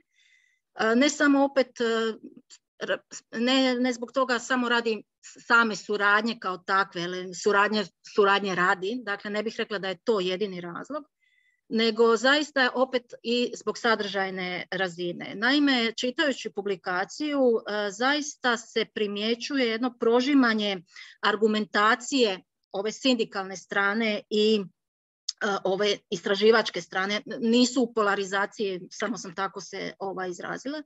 Dakle, primjećuje se jedno prožimanje argumentacije koje pokazuje stanje i iskustva ljudi, radnih ljudi na određenu u Hrvatskoj, da kako kroz zlorabu pravnog okvira. Međutim, bez ulaska u neke, ja bih se usudila ovdje reći malo kolokvijalno, ali bez ulaska u neke trapule politikanstva, što smatram posebno vrijednim. Radi se dakle o iznimno utemeljenim i provjerenim analizama koje gotovo govore same za sebe. Mi možemo primijetiti u publikaciji komentare i smjer sindikalnog i istraživačkog zagovaranja, ali baš zato što je toliko utemeljen podacima i u podacima što su to, podaci toliko jaki i zorni, možemo vidjeti zapravo potpuno prepustiti, prepustiti se zapravo toj argumentaciji i uvjeriti se u argumentaciju koja postoji u samoj publikaciji. Druga ocjena koju bi danas ovdje e, rekla zapravo izlazi iz ovoga što sam e, malo čas izgovorila. E, smatram da su ovi podaci vrijedan i nezaobilazan resurs za promišljanje da kako i akademskoj zajednici i sindikatima, ali svakako i zakonodavnoj, pa čak i sudskoj i izvršnoj razini vlasti. Jer iz ovog istraživanja primjerice vidimo i zlorabe samoga Zora i općenito pravnih regulacija oko rada u Hrvatskoj. Dakle, iz ove se publikacije daju prepoznati učinci dosadašnjih politika, ali istovremeno i donositi ili imati podluku, podlogu za donošenje empirijskih i interpretativno utemeljenih socijalnih i javnih politika, a na dobrobit ljudi koji žive ili žele živjeti u samoj Hrvatskoj. I s ovom rečenicom zapravo došla sam do one moje želje koje sam najavila na početku i s time ću polako zaključivati ovaj moj današnji prilog. Zapravo moja želja, želja da se ovakve suradnje nastave, odnosno da će se raditi i da se nastavi raditi i unapređivati e, ove spoznaje, raditi na redovitim periodičkim analizama stanja i procesa u području tržišta rada ili čak u, zapravo u području svijeta rada i života, jer znamo koliko rad označava i određuje naš život. E, kako bi zapravo svi oni ljudi koji rade na određeno u nekoj perspektivi pronašli posao na određeno i kako bi se rad na određeno kao institut zaista koristio samo na primjeren i valjan način i zakonski određen, a opet ne zlorabljen, što čak ovaj, autorice i autor naznačuju u publikaciji kako se čak i pozitivne mjere mogu zlorabiti. Da kako želim reći da to je sve zapravo, ova moja želja je e, potkrijepljena tim potrebom e, ili žeđu za istraživački izdašnim, a dobrim i kvalitetnim radom i životom u Hrvatskoj. U tom smislu e, autoricama i autoru, a i svakako svima koji sudjeluju na ovom projektu želim zahvaliti na ovoj publikaciji, a relevantne dionike i u državi i u društvu pozvati da pročitaju publikaciju i da je svakako koriste u promišljanju budućnosti hrvatskog društva. Hvala. Hvala e, Valerija. E, I evo ovim lijepim riječima za sve nas koji smo e, sudjelovali u projektu, došli smo do kraja prvog izlagačkog dijela ovog našeg današnjeg susreta. E, i, i prelazimo na e, raspravu koja ćemo se detaljnije osvrnuti e, na rezultate i komentirati. Ja bih sada molio sve paneliste da, koji još nisu da uključe svoje, svoje kamere, vidim da su svi s nama. Pa evo, preostalo mi je predstaviti paneliste u današnjoj raspravi. To su Dražen Opalić, pomoćnik ministra rada, Ana Miličević-Pezelj, izvršna tajnica Saveza samostalnih sindikata Hrvatske za e, javne politike i socijalni dijalog, Teo Matković iz Instituta za društvena istraživanja, koji je ujedno bio i voditelj ovog istraživanja, i Andrija Henjak, dekan Fakulteta političkih znanosti u Zagrebu. Evo, pozdrav još jedan po svima. Još jedan put samo ponavljam onu napomenu što se tiče uključivanja sudionika koju sam rekao i na početku. Možete se znači javljati za riječ e, pritiskom na, e, onu e, ruku koju vidite na dnu popisa sudionika. Mi ćemo vam dati riječ kad bude trenutak za to nakon prvog kruga pitanja. Također možete ovoga pisati komentare i pitanja u chat tijekom ove razgovore. Evo, ja bi za početak, za, za prvi krug ove rasprave zapravo postavit ću isto pitanje svim panelistima i zamolit ću vas sve da, e, da komentirate ove rezultate koje smo čuli, odnosno da se osvrnete na bilo kakve aspekte e, koje smatrate važnima e, i zanimljivima. Evo, i zamolit ću gospodina Opalića kao predstavnika izvršne vlasti, odnosno Ministarstva rada, da možda započne ovaj krug.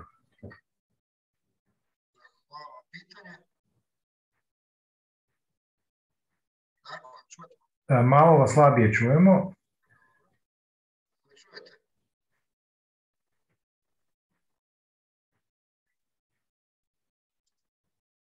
Čujete sad? Ok, sad je puno bolje. Okay. A, pitanje je, se rekao da ću postaviti pitanje neko. Pa, e, pitanje, evo ja sam vas zapravo zamolio da, da komentirate po svojoj procjeni ovoga, ono što vam se čini zanimljivim i važnim u ovim, u ovim e, rezultatima, ali evo s obzirom i na svoju temu i ulogu možete slobodno pokušati to odmah povezati i sa procesom izmjena zakona o radu gdje znamo da je rad na određeno bio jedna od, jedna od važnih tema. Jedna od prijepora u, razgovorima sa socijalnim partnerima. Hvala, hvala na, na, na predstavljanju. Zanimljivo je, zanimljivo je istraživanje, duboko stran da ćete nam poslu, pa ću definitivno da ćemo proučiti e, podatke. Podatke smo skupili mi da e, broj ugovora na određeno je problem u Republici Hrvatskoj, to je nepobitna činjenica. Imali smo e, ove 2020. pandemijske godine, to se malo smanjilo, logično zato što nisu se sklapali ugovora, ugovora na određeno. Ono što sam vidio, ako sam dobro zabilježio, a to da je 28% ugovora na određeno iz ovog istraživanja ugovori koji su zamijenili zapravo ugovore, e, ugovora na neodređeno sa probnim radom. Ako uspijemo ti 28% prepoloviti ili čak i više, dvije trećine smanjiti i aktivirati taj institut zakona o radu koji se odnosi na probni, na probni rad e, kao dio ugovora na neodređeno, osobno će biti jako sveto. E, znači, uvijek postoji, moramo gledati strukturu gospodarstva, to baš nisam vidio istraživanju, e, nije toliko bilo obuhvaćeno, mi imamo dosta izraženo sezonsko zapošljavanje, pogotovo u turizmu. Zašto 2013. 14. godine povećao se broj sezonskih ugovora o, o, o, radu na određeno i povećao, povećao se promet turizma. A to sad morate e, povedati s jednim činjenicom, to je uvođenje fiskalizacije. To uvođenje fiskalizacije čudo napravilo našem turizmu. Jer kad su ta fiskalizacija, počeli su ogromni promet, odnosno e, e, pokazivalo su se nesrazmjerno veći broj prometa, onda i prijavljenih radnika upravo zato što kad neki radnik eh, radi na finskom blagini mora staviti stolovi, tako da se tu dosta suzbilo i radi na crno vezano uz turizam. Uh, ono što, i malo sam sad imao raspravu sa kolegicom Miličević Pezer, uh, ono što mi sad uh, pokušavamo napraviti u zakonodavnom okviru, odnosno konzultacije, ono što bi htjeli staviti novi zakon o radu, naravno ograničiti broj ugovora o radu, spriječiti zlouporabe, ugovora na radu na određeno, naravno mislim na to. E, zato smo rekli e, da ćemo uvesti pola povezanog poslodavstva da ne bi bilo fiktivnog prebacivanja na e, taj rok dva, odnosno tri mjeseca kako mi predlažemo te rupe između dva ugovora na određeno kada se opet mogu stupiti novi ugovor i ograničiti broj ugovora, ali opet moramo uzeti u obzir dužnu pažnju prema, prema našem turizmu gdje izbilja postoji potreba za sezonskim radnicima. Kolega nije neko spomenuo ugovor, kolega Butković, e, ugovor, e, odnosno pojam institut stalnog sezonca. Da, nažalost, nemamo ih puno, mislim da ih ima oko 5000 i za stalne sezonce se opredjeljuju velike hotelske kuće. Mali poslodavci se baš ne odlučuju stalnog sezonca malo sam skeptičan da ne znam kako pojačamo taj institut, da će mali poslodavci baš opredjeljivati za taj ugovor e, vezano uz stalnog sezonca. Ono što mi želimo napraviti, želimo ograničiti broj ugovora na, određeno. Tri, e, predstavnici Hrvatskog poslodavaca su rekli da je to premalo.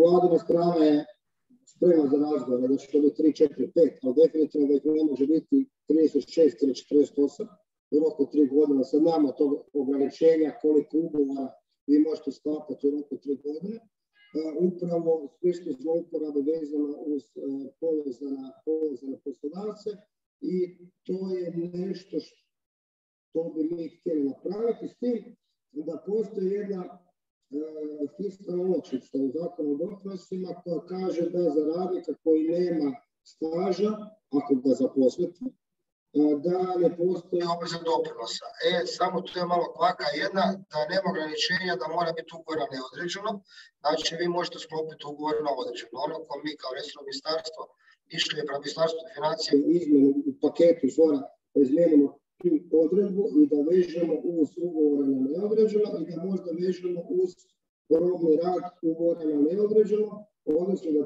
taj, taj dio ugovora, čak meni to nije fokus u ugovorima na određeno, koliko mi je fokus u prezentaciji i činjenju što atraktivnim e, rad na, na probni rad na ugovore na neodređeno, da to bude poslodavcima zanimljivo, financijski prihvatljivo i da se što više opredjeljuju na, na te ugovore i mislim kako malo da vidimo te konzultativne e, e, rasprave, mislim da bi mogli i kao ministarstvo i pred Korisno za zapošljavanje napraviti jednu kampanju promoviranja upravo tih uh, ugovora na neodređeno sa probnim rokom, upravo da tih 28% ili koliko je već ovaj, uh, tih ugovora na određeno koje zamjenjuje taj probni, probni rad, da promijenimo taj postotak. Mislim da ako tu uspijemo da ćemo napraviti jedan jako, jako dobar posao. Evo to kod mene za. Ok, hvala. E, evo, ja bi Andrija vas zamolio kao iduću osobu koja nije bila direktni sudionik ovog procesa, da, da date svoj slobodni komentar na ovo što ste čuli danas, zapravo vrijednost i iskoristivost rezultata i problematiku o kojoj uopće ovdje govorimo. Hvala, dobar dan svima. Pa, ne znam, možda nisam dovoljno dobro pratio, ali ono što je meni promaklo je zapravo sektorska kompozicija, odnosno raspored i distribucija ugovora na određeno vrijeme po, po sektorima. Mislim, negdje u zaglavlju sam gore vidio da piše rad po mjeri čovjeka, ali mislim da bi možda bilo preciznije kad bi pisalo rad po mjeri ekonomskog modela. Jer ono što možemo, mislim ono što su podaci pokazali nedvojbeno je to je da učestalost rada na određeno raste i da sve više zahvaća, odnosno da mlađe generacije imaju znatno izraženije iskustvo rada na određeno. Mislim sad mogu spekulirati, ali zapravo ne mogu ništa konkretno reći zato jer mislim to je nešto što bi se vjerojatno trebalo pogledati u budućnosti. To je moguća posljedica sektorske, sektorske kompozicije ekonomije i Mislim, ok, sad je možda deplasirano govoriti o deindustrializaciji 25 godina nakon što se ona počela događati, ali sigurno to ima nekakve veze. Mislim, kad govorimo o hrvatskom ekonomskom modelu, mislim, on se sigurno ne, ne temelji na pokušaju ostvarivanja ekonomske aktivnosti koja se temelji na nekakvoj višoj dodanoj vrijednosti, osim možda u nekim malim sektorima marginalno. Ne temelji se na industriji i ne temelji se na izvozu industrijskih proizvoda, mislim bilo kakvih, a kamoli ne ovih koji imaju visoku dodanu vrijednost. I onda u tom slučaju naravno Mislim, druga stvar koju treba reći je ako se pogleda komparativno, iako opet nam tu isto fali nekakvih sistematskih istraživanja, kapacitet hrvatske ekonomije za generiranje i implementaciju novih tehnologija isto je generalno slab. I onda u tom smislu ne čudi da u tom ekonomskom modelu imamo ovoliku veliku učestalost ugovora na neodređeno jer je zapravo akterima koji zapošljavaju radnu snagu, odnosno poslodavcima, to u interesu i to im se sigurno puno više isplati nego korištenje drugih oblika ugovora i daje im puno veću fleksibilnost na tržištu rada. Mislim, to je jedan razlog, vjerovatno sektorska kompozicija ekonomije je jedan aspekt koji bi trebalo pogledati, a drugi razlog, gotovo sigurno je posljedica relativne slabosti rada u odnosu na poslodavce, barem do ove sad zadnje situacije u kojoj ipak postoji objektivna nestašica radne snage, a sad ja opet ne vidim da su sindikati uspjeli i, i to iskoristiti. Tako da mislim da ovo što smo vidjeli je zapravo posljedica s jedne strane sektorske kompozicije ekonomije, odnosno osnova na kojima se temelji konkurentnost hrvatske ekonomije, odnosno model ekonomskog rasta koji se više temelji na cjenovne konkurentnosti nego na nečem drugom, dominaciji sektorska usluga koji je sezonalan i onda posljedično slabosti sindikata. Mislim u tom smislu polisi namjera da se smanji broj ugovora na, na određeno vrijeme i opća učestalost prekarnog rada je hvale vrijedan, ali mislim s obzirom na strukturu ekonomskih interesa on će sigurno naići na dosta opozicije.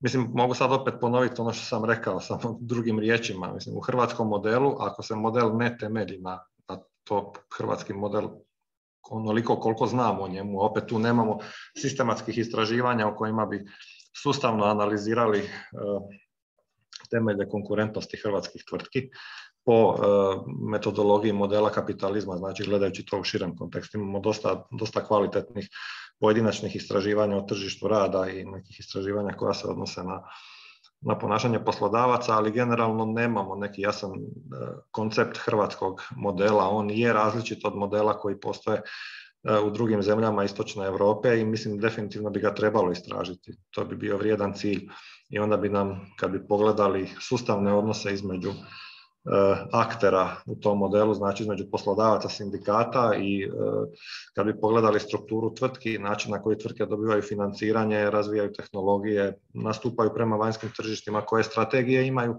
onda bi, nam, onda bi mogli i ovaj aspekt koji se odnosi na tržište rada bolje razumjeti. Ono što se u Hrvatskoj relativno malo događa, a to je da tvrtke investiraju u vlastitu radnu snagu i da tvrtke imaju potrebe za visoko kvalificiranom radnom snagom u tom opsegu u kojem bi im bio interes da ju sami kreiraju. I onda u tom smislu zapravo ako idete na natjecanje koje se temelji na cjenovnoj konkurentnosti, nužna posljedica je visoka incidencija povremenog rada. Ako pritom još imate slabe sindikate koji nisu u stanju se suprotstaviti tome, to onda samo pospješuje taj output, odnosno rezultat, ajmo to tako reći. Ne znam, mislim, to bi bili moji komentari za uvod, pa sad možemo dalje još. Hvala. Ok, ok, hvala, rekli ste dosta toga za, za, za ovaj uvod. Evo, Ana, ja bih sad tebe zamolio, ne znam, čini mi se da ti ne trebam postavljati neko posebno pitanje, da i ako nisi imala plan šta reći, da se iz ovoga što smo do sad čuli imaš uh, materijala za, za komentirati. Dobar dan, dobar dan, lijepi pozdrav svima. Dakle, ti me dobro znaš, ja nisam nikad bez plana, ali naravno da me ovaj, sama diskusija uvijek motivira zapravo za određene komentare. Hvala Bogu, za to imam i dovoljno iskustva.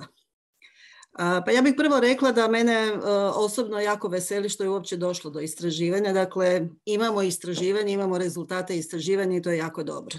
To je prva stvar. A druga stvar, samo istraživanje je uglavnom potvrdilo naše teze, dakle kada kažem naše, mislim uvijek na, na stajališta SSSH i k tome donijelo još nekakvu dodanu, dodanu vrijednost o kojima ni sami nismo imali dovoljno saznanja. Tako da je doista sveobuhvatno istraživanje i rezultati koje ćemo koristiti kao što je već prethodno rečeno u narednom razdoblju. Ja bih ovdje napomenula da SSSH i do sad provodi određena istraživanja. Mi smo to manje više provodili unutar vlastite organizacije putem naše infrastrukture koje je pokazalo da u takvim slučajevima, dakle tamo gdje djeluju članovi, odnosno gdje udruženi sindikati imaju podružnice, zapravo je u većem dijelu ovih komponenti rada po mjeri čovjeka zapravo uočena manja razlika između radnika na određeno i neodređeno vrijeme, s tim što naravno najviše je uočeno upravo kod područja napredovanja u karijeri i obrazovanja jer ako radite na ugovor na tri mjeseca ili na šest mjeseci zapravo vas niko živ ne želi poslati na dodatnu edukaciju, niti s vama planira dakle, u bliskoj budućnosti da biste vi mogli unutar firme napredovati. Ali pitanje plaće, pitanje uvjete rada i tako dalje, dakle prava na bolovanje, nisu uočene u tim našim internim istraživanjima, što je zapravo pokazalo da sindikat čini razliku. Nas ta naša istraživanja zapravo i ponukala da izađemo na ka neovisnim istraživanjima upravo zato da bi se moglo na neki način uspoređivati podatke između sindikaliziranih i nesindikaliziranih poduzeća. Dakle, u toliko gospodinu Henjaku mogu reći da ovdje izostaje jedan podatak upravo o tome kako sindikat čini razliku. Da je imalo i toga podatka, imamo ih u nekim drugim istraživanjima koje smo proveli iz 2018. i 2019. onda bi se vidjelo zapravo da bi situacija u Hrvatskoj bila daleko lošija da sindikata u Hrvatskoj nema. To je prva stvar. Druga stvar, to što smo mi doista doveli ovu zemlju do ovako masovne deindustrializacije, naravno da je problem. SSSH upravo zato što ima najveće sindikate u tom području prerađivačke industrije. Dakle, najveće granske sindikate u Hrvatskoj ima SSSH i mi smo niz godina od Ministarstva gospodarstva tražili upravo promjenu strukture ekonomije koja nas je u ovoj pandemiji žestoko koštala. Jer naravno kad vi imate uslugu, odnosno uslugu koju čovjek pruža čovjeku, onda vas pandemija na neki način izbaci iz konteksta. Međutim, poduzeća koja nisu industrializirane ili nisu u području industrije, nego pružaju usluge, Dakle, fokus je na tome da ta poduzeća posluju. To je temeljna stvar. Oni ne posluju od slučaja do slučaja. Ja pružam usluge, ali nisam prerađivačka industrija nego dajem usluge, međutim, naravno ja trebam radnike koji pružaju usluge, da pače puno više nego kada je riječ o industriji, posebno industriji 21. stoljeća. Dakle,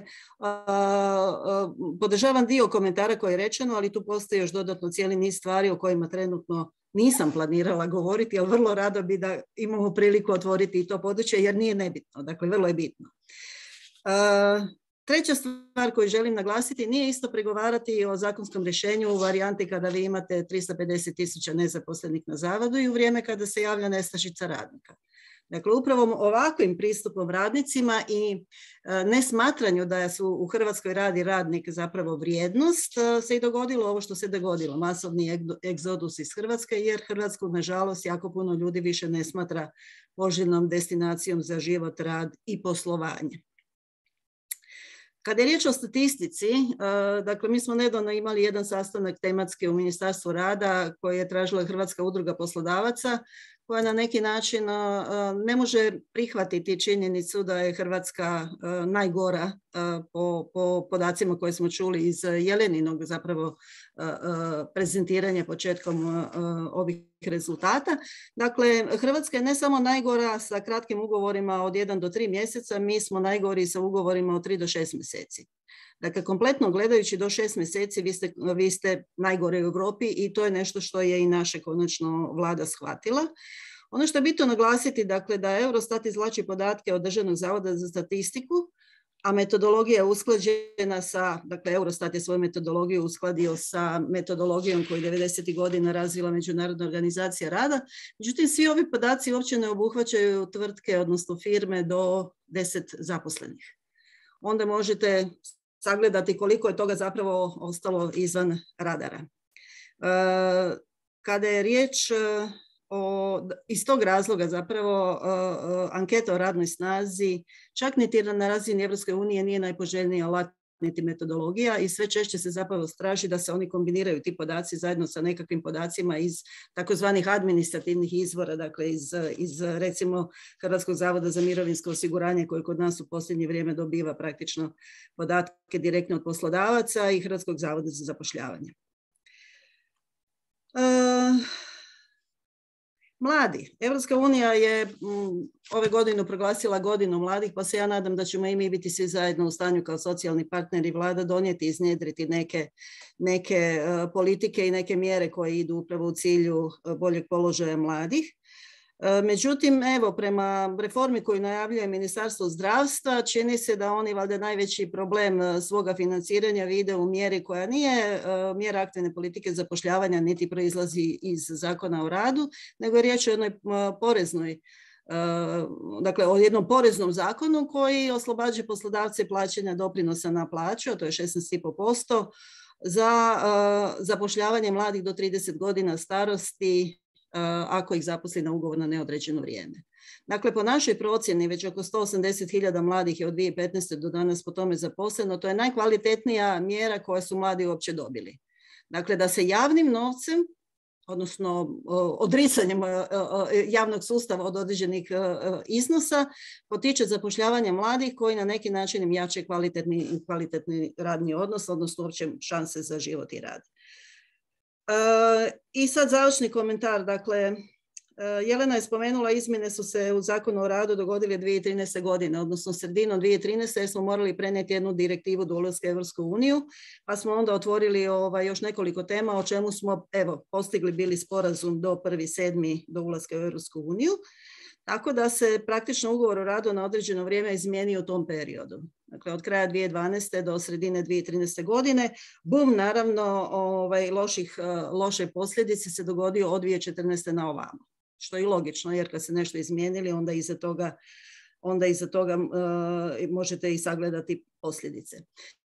Ja bih rekla da poslodavci nisu opravdali povjerenje ovih izmjena koje smo mi e, odradili, vjerujući da će istovremena promjena e, otpuštanja po ugovoru o radu na neodređeno vrijeme ukoliko osoba nije zadovoljila na probnom radu, dakle to je opravdani razlog za otkaz ugovora o radu, da će u kombinaciji jedna i druga zapravo mjera upravo polučiti e, rezultat da ćemo se dakle, davati ugovor o radu na određeno vrijeme samo za one slučajeve koji se predviđeni zakonom o radu, međutim, nažalost, to se nije dogodilo.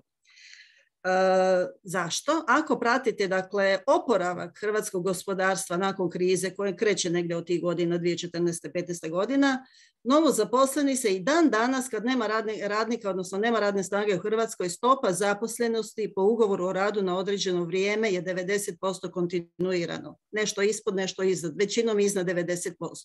Davni godina smo upozorili na to i bez istraživanja da to samo upućuje da se, da se ugovor o radu na određeno vrijeme ne koristi u skladu sa zakonom o radu, dakle ne koristi se kao izuzetak.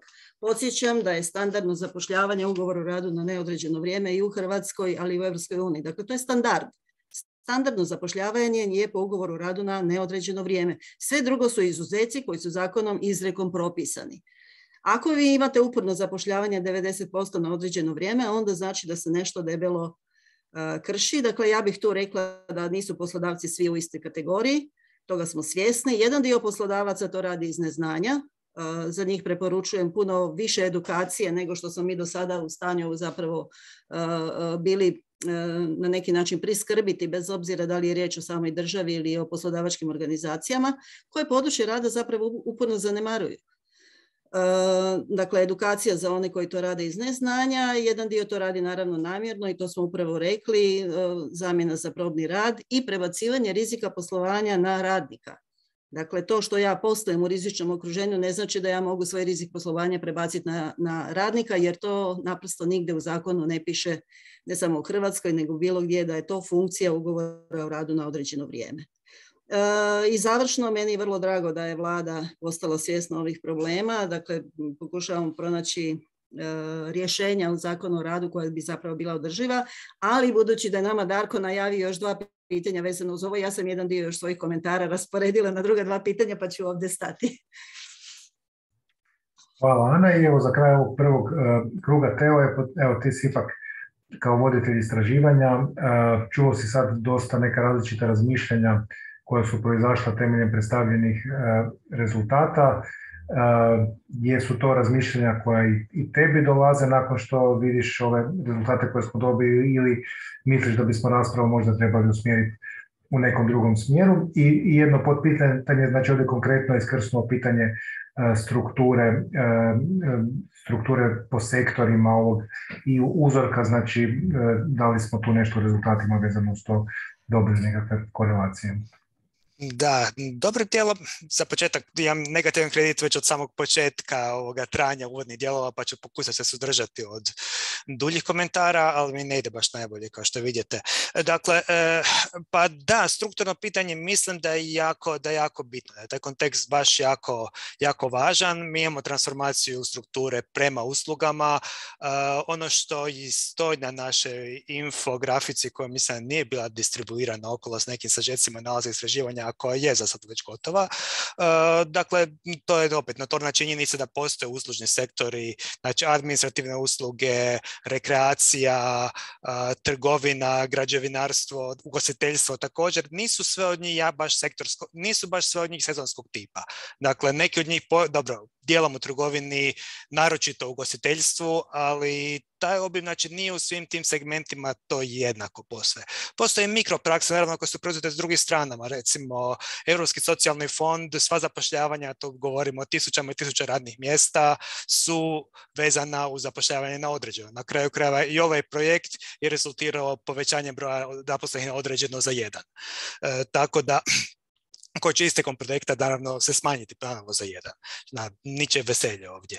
Također je tu pitanje recimo sektora obrazovanja. Svako ljeto dok se sezonci zapošljavaju, desetak tisuća zaposlenih u vrtićima, školama dolaze na zapošljavanje i tako dalje. Dakle, imamo tih struktura, stvari koje smo se na neki način i u samo nekako business as usual, čak i u javnom sektoru su uključene na taj način i da, to je bilo nekako razumljivo iskustvo u situaciji izobilja radne snage. Sada zapravo već te, ajmo reći, pozitivne trendove viđamo negdje od 2016. 17, znači to je vrh bio oko 2017. 18. i 19. smo imali stagnaciju i malo smanjivanje udjela zaposlenih na određeno, ali pitanje opet što i gdje. Naime, upozoravam na tih 70 tisuća zaposlenih stranih radnika koji po definiciji se zapošljavaju na određeno, a koje anketa o radnoj snazi ne nalazi, jer one nisu uglavnom u kućanstvima koje anketa radnoj snazi traži. Možemo ih vidjeti recimo podacima mirovinskog sve strane, ali znači to opet jako veli, ali ne, ne, ne možemo ih sigurno vidjeti niti u našoj anketi. Dakle, mi ovo svi nalazi, sve spoznaje koje imamo su isključivo o domicilnim radnicima, domicilnom stanovništvu koja isključuje privremeno zaposlene strance koji počinju činiti značajan dio, značajan segment našeg, našeg tržišta rada. I da, nekako te promjene zakonodavstva, znači val 96. 2003. 2014. svaki je nekako učinio nešto normalnim taj rad na određeno. Ok, istina, to je smanjilo, smanjio se prostor rada na crno koji je bio notoran u 90-ima, samo zaposlenosti različitih ugovora o dijelu autorskih koji jesu, znači imamo jedan taj pool jednoga oblika, atipičnih oblika zaposlenosti i u njima je sad nekakav naglasak ima zaposlenost na određeno. Studentski rad skoro zanemarujemo, a velika, tu govorimo ako se navaramo o neki 2 ili 3 milijarde kuna prihoda u godini, nešto što polazi značajan dio studenta. Tako to je dosta veliki pul te periferije koje se međusobno dijelom, dijelom, dijelom i prebija. Međutim, to dobro, dosta dobro znamo znamo i ranije. Malo smo rekapitulirali šta se tu zbiva i da imamo nekakvu i prije pandemije stagnaciju ili smanjivanje toga, dijelom i zbog toga što nezaposlenih maltene nije bilo toliko malo od 1970-ih, ali s druge strane imamo znači ovo pitanje koje je zanimalo je kao što se tiče samoga kvalitete zaposlenosti, znači da li to načelo nediskriminacije funkcionira. Ono nije na dnevnom redu i u praksi ne funkcionira. Problem je što ne funkcionira institut koji za skupinu, za neku pojavu kroz koju prolazi većina generacije i u kojoj zaglavi negdje desetina, petina u kojoj u svakom trenutku aktivirana otprilike petina domicilnog stanovništva i gotovo svi strani radnici. Tu je plus doduše da nismo našli eksploatativne prakse, nismo našli segment, strogo diljen segment tržišta rada, znači da imamo s jedne strane poslove geto za zaposlene na određeno i s druge strane imamo vesele radnike na neodređeno i vidimo znači, da je integracija organizacije u pravilu dosta dobra, izostaje alijenacija na radnom mjestu, e, nema toliko eksploatativnih praksi, e, režima straha, znači od gubitka posla koji nije prisutniji među zaposlenima na određeno nego na neodređeno, ali postoji velika nesigurnost, postoje razne dimenzije, posebno u pitanju materijalnih prava, koje češće, gdje češće izvise zaposleni na određeno, mislim od sistematskog pregleda nadalje naravno, e, do pitanja, do pitanja raspolaganja vremenom, od godišnjeg odmora, recimo pravilnog počeka za godišnji odmor od pola godine, direktno, iako se ne odnosi eksplicitno na zaposlene na određeno, vrlo smanjuje mogućnost zapravo uzimanja odmora od osoba koje su zaposlene na određeno, na te kratkotrajne ugovore, ugovore na određeno.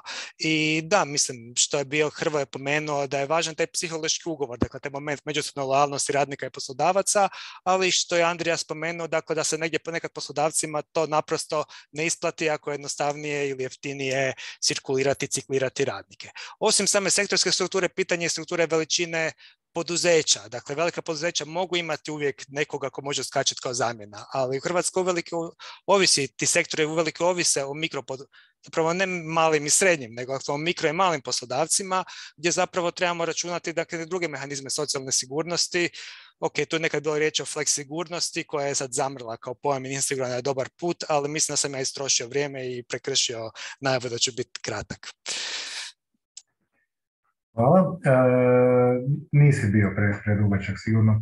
E, evo, kao što sam najavio, sad je e, trenutak gdje ćemo i otvoriti prostor za, za raspravu. Ja ću za e, početak pročitati komentar koji je došao već prije nekog vremena ovdje, ovdje u chat.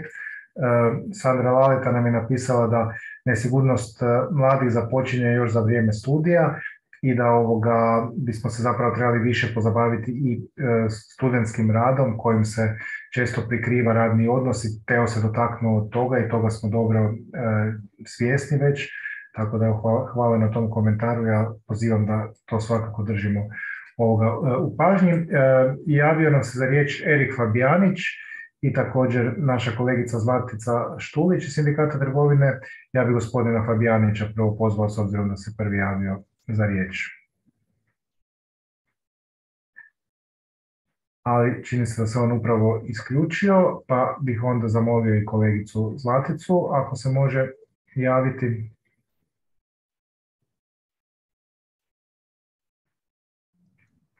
Čini se da nemamo. Aha, čujemo se odlično. čujemo se. Ma ja bih samo htjela reći, ovaj, sve prije svega pozdravljam, bilo mi je e, vrlo interesantno slušati ovu, ovaj izlaganja. Mi u sindikatu trgovine zapravo tu sve znamo i zapravo priča, ovaj, istraživanje je pokazalo našu, e, našu praksu, lošu praksu, jer imamo nepreciznu i lošu regulaciju koja je regulirala tako, koja je rezultirala time da je iznimka postala pravilo. Mi se u sindikatu doista borimo s takvim ugovorima na određeno vrijeme, nažalost i sa lošom praksom e, sudskog postupka utvrđivanja da je nešto nezakonito sklopljeno na određeno vrijeme kako bi radnik to ostvario pravo i kako bi, kako bi se njegov ugovor pretvorio u ugovor na neodređeno vrijeme. To je jako važno, međutim u trgovini postoji još jedna jako loša praksa, a to da je radnik formalno dobio ugovor na, na neodređeno vrijeme, primjerice zapošljava se kao prodavač, e onda on određeni broj godina, pa bude to 5, 6, 7 i 8, svaki mjesec ili svaka 2-3 mjeseca potpisuje ugovor da bi on bio poslovođa. Pa onda ima aneks ugovora za poslovođu, ne znam, za voditelja i tako dalje i formalno je sve u redu. On je zaposlen na neodređeno vrijeme, ima sva prava, a ovo je kao poslodavac e, odabrao zašto? Da ga na taj način bolje kontrolira, da kontrolira njegovu odgovornost. Ako mu se ne dopadne kako recimo upravlja ovaj prodavaonicom, jednostavno mu ne produži ugovor. To je za radnike izuzetno stresno, izuzetno frustrirajuće. Dakle, najveći e, rok koji sam imala, to je bilo 12 godina i žena svaka dva mjeseca potpisivala ugovor za poslovođu. E, e, to je nešto što je zapravo nedopustivo, ali nažalost praksa je to odobrila, naprosto tako. Jel? E, imali smo i tih ugovora da u pet godina recimo žena koja radi na održavanju i čišćenju određenih trgovačkih centara ima sklopljena 36 ugovora i to se događa svaki mjesec, dva ili slično. To je možda evo nekakvo iskustvo, loše iskustvo, loša praksa koju imamo po ovom zakonu što bi trebalo ovaj, mijenjati u ovom sad periodu koji je ispred nas jer mislim da je ovo nedopustivo. Naravno da to poslodavci koriste i mislim da ih nepoznavanje ne opravdava. Oni su dužni znati i dužni su poštivati zakon, a nažalost mi imamo sad jednu potpuno obrnutu situaciju i ovo istraživanje to jasno pokazuje. Imamo zakon gdje se norma o, o radu na određeno vrijeme u praksi apsolutno ovaj, ne primjenjuje u skladu s onim što je zakonodavac htio. To je jako važno reći i mislim da je nužno to promijeniti za dobrobit radnika, a mislim i poslodavaca, jer s obzirom na ovaj nedostatak radne snage, da će i njima to biti od koristi. Evo samo toliko. Hvala Zlatica, evo vidim da se Eriku povremeno pali kamera, pa ako ste još zainteresirani za javljanje. Tu smo, evo ga, svi skupa vas pozdravljam. E, nažalost, pratim dvije sjednice istovremeno, ovaj, pa zbog toga sam i gasio kameru. E, osvrnuo bih se malo i na ove podatke na ova, i na ova istraživanja. Vidim da, zbilje je ključna, e, barem po istraživanju 2014. godina, kada je broj, kada je broj e, dakle, ugovora na, na, na određeno vrijeme naglo skočio. Činjenica je da se to može bez daljnjega tumačiti kao kompromis fiskalizacije i na taj način e, legalizacije rada na crno, pa smo onda s time de facto ukinuli ove objektivne razloge zbog čega bi mogao biti dopušten rad na određeno vrijeme. Nažalost, tu prednjačimo u Europi i nije, situacija nije dobra. Neovisno o tome, ne možemo prepustiti stvari isključivo tržištu, pogotovo ako, se, ako želimo poštivati ustavno načelo da smo socijalna, da smo socijalna država. E, činjenica je da e, brojke su po meni tekako realne. Nažalost, e, istraživanje i ovo od 2019. nije provedeno u toj, ajmo reći tako, pandemijskoj godini da, da nemamo dakle, potpunu liberalizaciju tržišta rada na razini Europske unije koja je de facto stupila na snagu s prvim 7.2020. godine. Bojim se, nažalost, da neovisno o pandemiji te brojke bi bile te brojke bi bile još veće. Ovako ljude, ljudi koji su do jučer mogli raditi na određeno, jednostavno su, jednostavno su otišli raditi preko granice gdje su imali bolje, bolje uvjete. To kriterij naših poslodavaca ili barem u većini slučajeva nažalost ne može, ne može biti. E, izgovor izuzev turizma koji je kod nas nažalost sezonskog karaktera e, ne može, jednostavno ne može biti jer je uslužna djelatnost da kako da traži ugovore na, na neodređeno. E, druga je stvar način na koji će se nešto regulirati. Sad je samo pitanje, osnovno je pitanje jedne druge stvari, a tu po meni i zakonodavac ima jednu ključnu ulogu, neovisno o, o industrijskim odnosima ili o welfareu ili o socijalnom, ili o socijalnom dijalogu. Jer činjenica je da kroz tu vrstu rada e, država i građani najviše, najviše gube, gube i, i ljudi koji su tako zaposleni, ali gube i banke dovodeći situaciju skoro pa do definicije krize, krize kapitalizma. Razlog je vrlo jednostavan. S jedne strane, pitanje demografije, to se vidi i po, i po ovom zadnjim rezultatima vezano za za broj stanovnika koliko imamo e, u, u Hrvatskoj, jer sam gledao baš što najviše su mjere, dakle što najviše pogađa i na što se najviše reflektiraju ovaj, kod mladih e, ugovori na određeno mjene, a s druge strane to je pitanje stambe, stambene politike, odnosno e, i ljudi nakon 35. žele se ukućiti, a financijske, a banke su te koje daju plasmane vezano za stambene kredite. Dakle, Ovdje imamo, jest da su banke u stranim, pretežno u stranim rukama, pa onda ih to baš previše e, ne, ne dotiče. Međutim, to ne dovodi do neke dugoročnih e, politika, politika razvoja i well-beinga ovdje, ovdje, ovdje u Hrvatskoj. E, mi bi da kako, sad je pitanje koja politika vrijedi ovdje u Hrvatskoj. Želimo, želimo li, dakle, destimulirati rad na određeno vrijeme ili ga ne želimo. Jer flexicurity znači dakle preći sa jednog ugovora na, na neodređeno e, na drugi ugovor na neodređeno. Flexicurity ne znači čitavu vječnost ugovor na, na određeno vrijeme, a to je društvo u kojemu se mi nažalost sve više pretvaramo.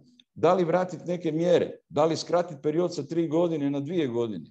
Da li kod idućeg ugovora poveća cijenu rada, odnosno obaveza poslodavca da poveća, da poveća tarifu, ajmo tako reći, sa, e, sa, za 5% bruto iznosa ili 10%, da li izrijekom, da li izrijekom zabraniti ovaj, pod određenim uvjetima e, rad, rad na određeno vrijeme, o tome bi se dalo razgovarati, ali pitanje je da li je to fenomen koji izuzev e, potrebe, realne potrebe, zbog izigravanja potpisa želimo e, e, suzbiti. Vidim da je bilo riječi i, i, i o radu i, i o radu preko studentskih ugovora. No, međutim, pitanje još jedne stvari nije bilo riječi, ali evo ga, da dam još jednog povoda, a tu me brojke zbilja interesiraju. E, to je pitanje sudske prakse, kad je riječ bilo o ovom diskriminatornom dijelu, kakve, kakve su nam brojke, jer i, o, jer i o tome zakonodavac mora, mora voditi računa, a pogotovo recimo u onom dijelu koji su vezani za tužbe za utvrđenje. Dakle, kada se radnik, nakon što je radio tri godine, tri godine na određeno vrijeme, po isteku toga rota obratio sudu i i ovaj, da, bi, da bi nametnuo, ajmo tako reći, e, svoj ugovor o radu na neodređeno, koliko je takvih slučajeva, koliko ih je na kraju krajeva i odbijeno i koja su, koja su obrazloženja. Ne? U svakom slučaju pohvaljujem, pohvaljujem i tekako ta istraživanja. Ja mislim da svi mi koji se bavimo, koji se bavimo e, tim dijelom posla, bilo da je riječ o zakonodavnoj vlasti, o izvršnoj vlasti, bilo da je riječ o poslodavcima, bilo da je riječ o sindikatima, ovaj, moramo i tekako voditi računa jer je to prije u prioritetu nas kao države, kao građana ove, kao građana ove države. A ne bih ja tu m, upirao prstom ni na koga, eventualno najviše baš na politiku. E, koliko god prozvani sindikati, sindikati djeluju u okviru one konjunkture koja im je ova država zadala. Ja bih volio da imaju povoljnije uvjete, ali to je moj osobni stav. Evo, zahvaljujem. Izvinjavam se ako sam bio predug.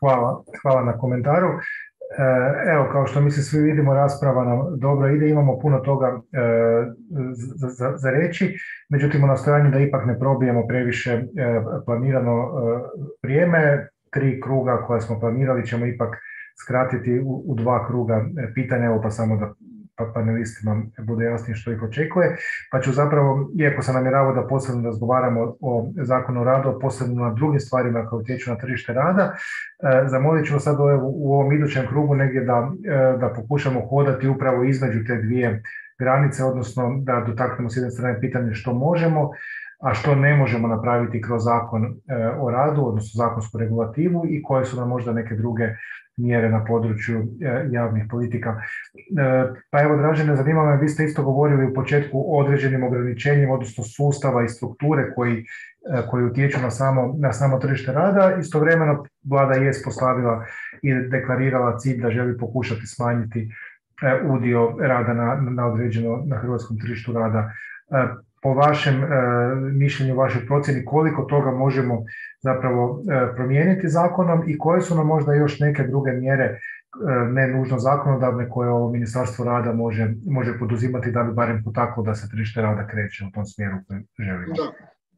Pa ono što je nenormativna aktivnost i što sam i kao član upravnog odbora Hamal Mikra rekao tamo, treba poticati ugovore na neodređeno svim dokumentima. Znači, ako se daju e, bilo koji, koji programi koje rade vlada, da se potiče ugovori na neodređeno. E, nije pitanje, ću se malo na kolegu Fabijanića reflektirati, nije pitanje da li ćemo, da li ćemo se mi opredijeliti za jedan ili drugi oblik ugovora o radu, već jednostavno da taj ugovor na radu na određeno dobije, e, uđe nekakve svoje okvire. Znači uvijek će postati određeni poslovi koje će se obavljati preko tog ugovora radu na određeno, ali ono što bi mi htjeli, e, uvijek je najbolje poticati nešto, e, financijski bilo kako, ko što je rekla kolegica Miličević Pezir, ona olakšica za mlade, mislim da će ostati kao tako, ne, nisam siguran, ali vjerujem da, da hoće, zato što je polučila zbija odlične rezultate,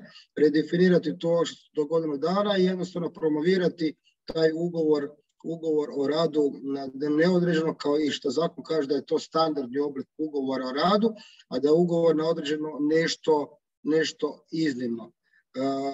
opet kažem, zbog strukture gospodarstva gdje imamo, gdje je veliki udio tog turizma u BDP-u, gdje, jako puno ljudi radi sezonski, teško da će se mali poslodavci mikro, neko je spomenuo, koje zbilja težište, mislim, kolega Matković, koji mali kafići, restorani, teško da će oni ulaziti u kombinaciji stalnog sezonca i do sad nisu radili.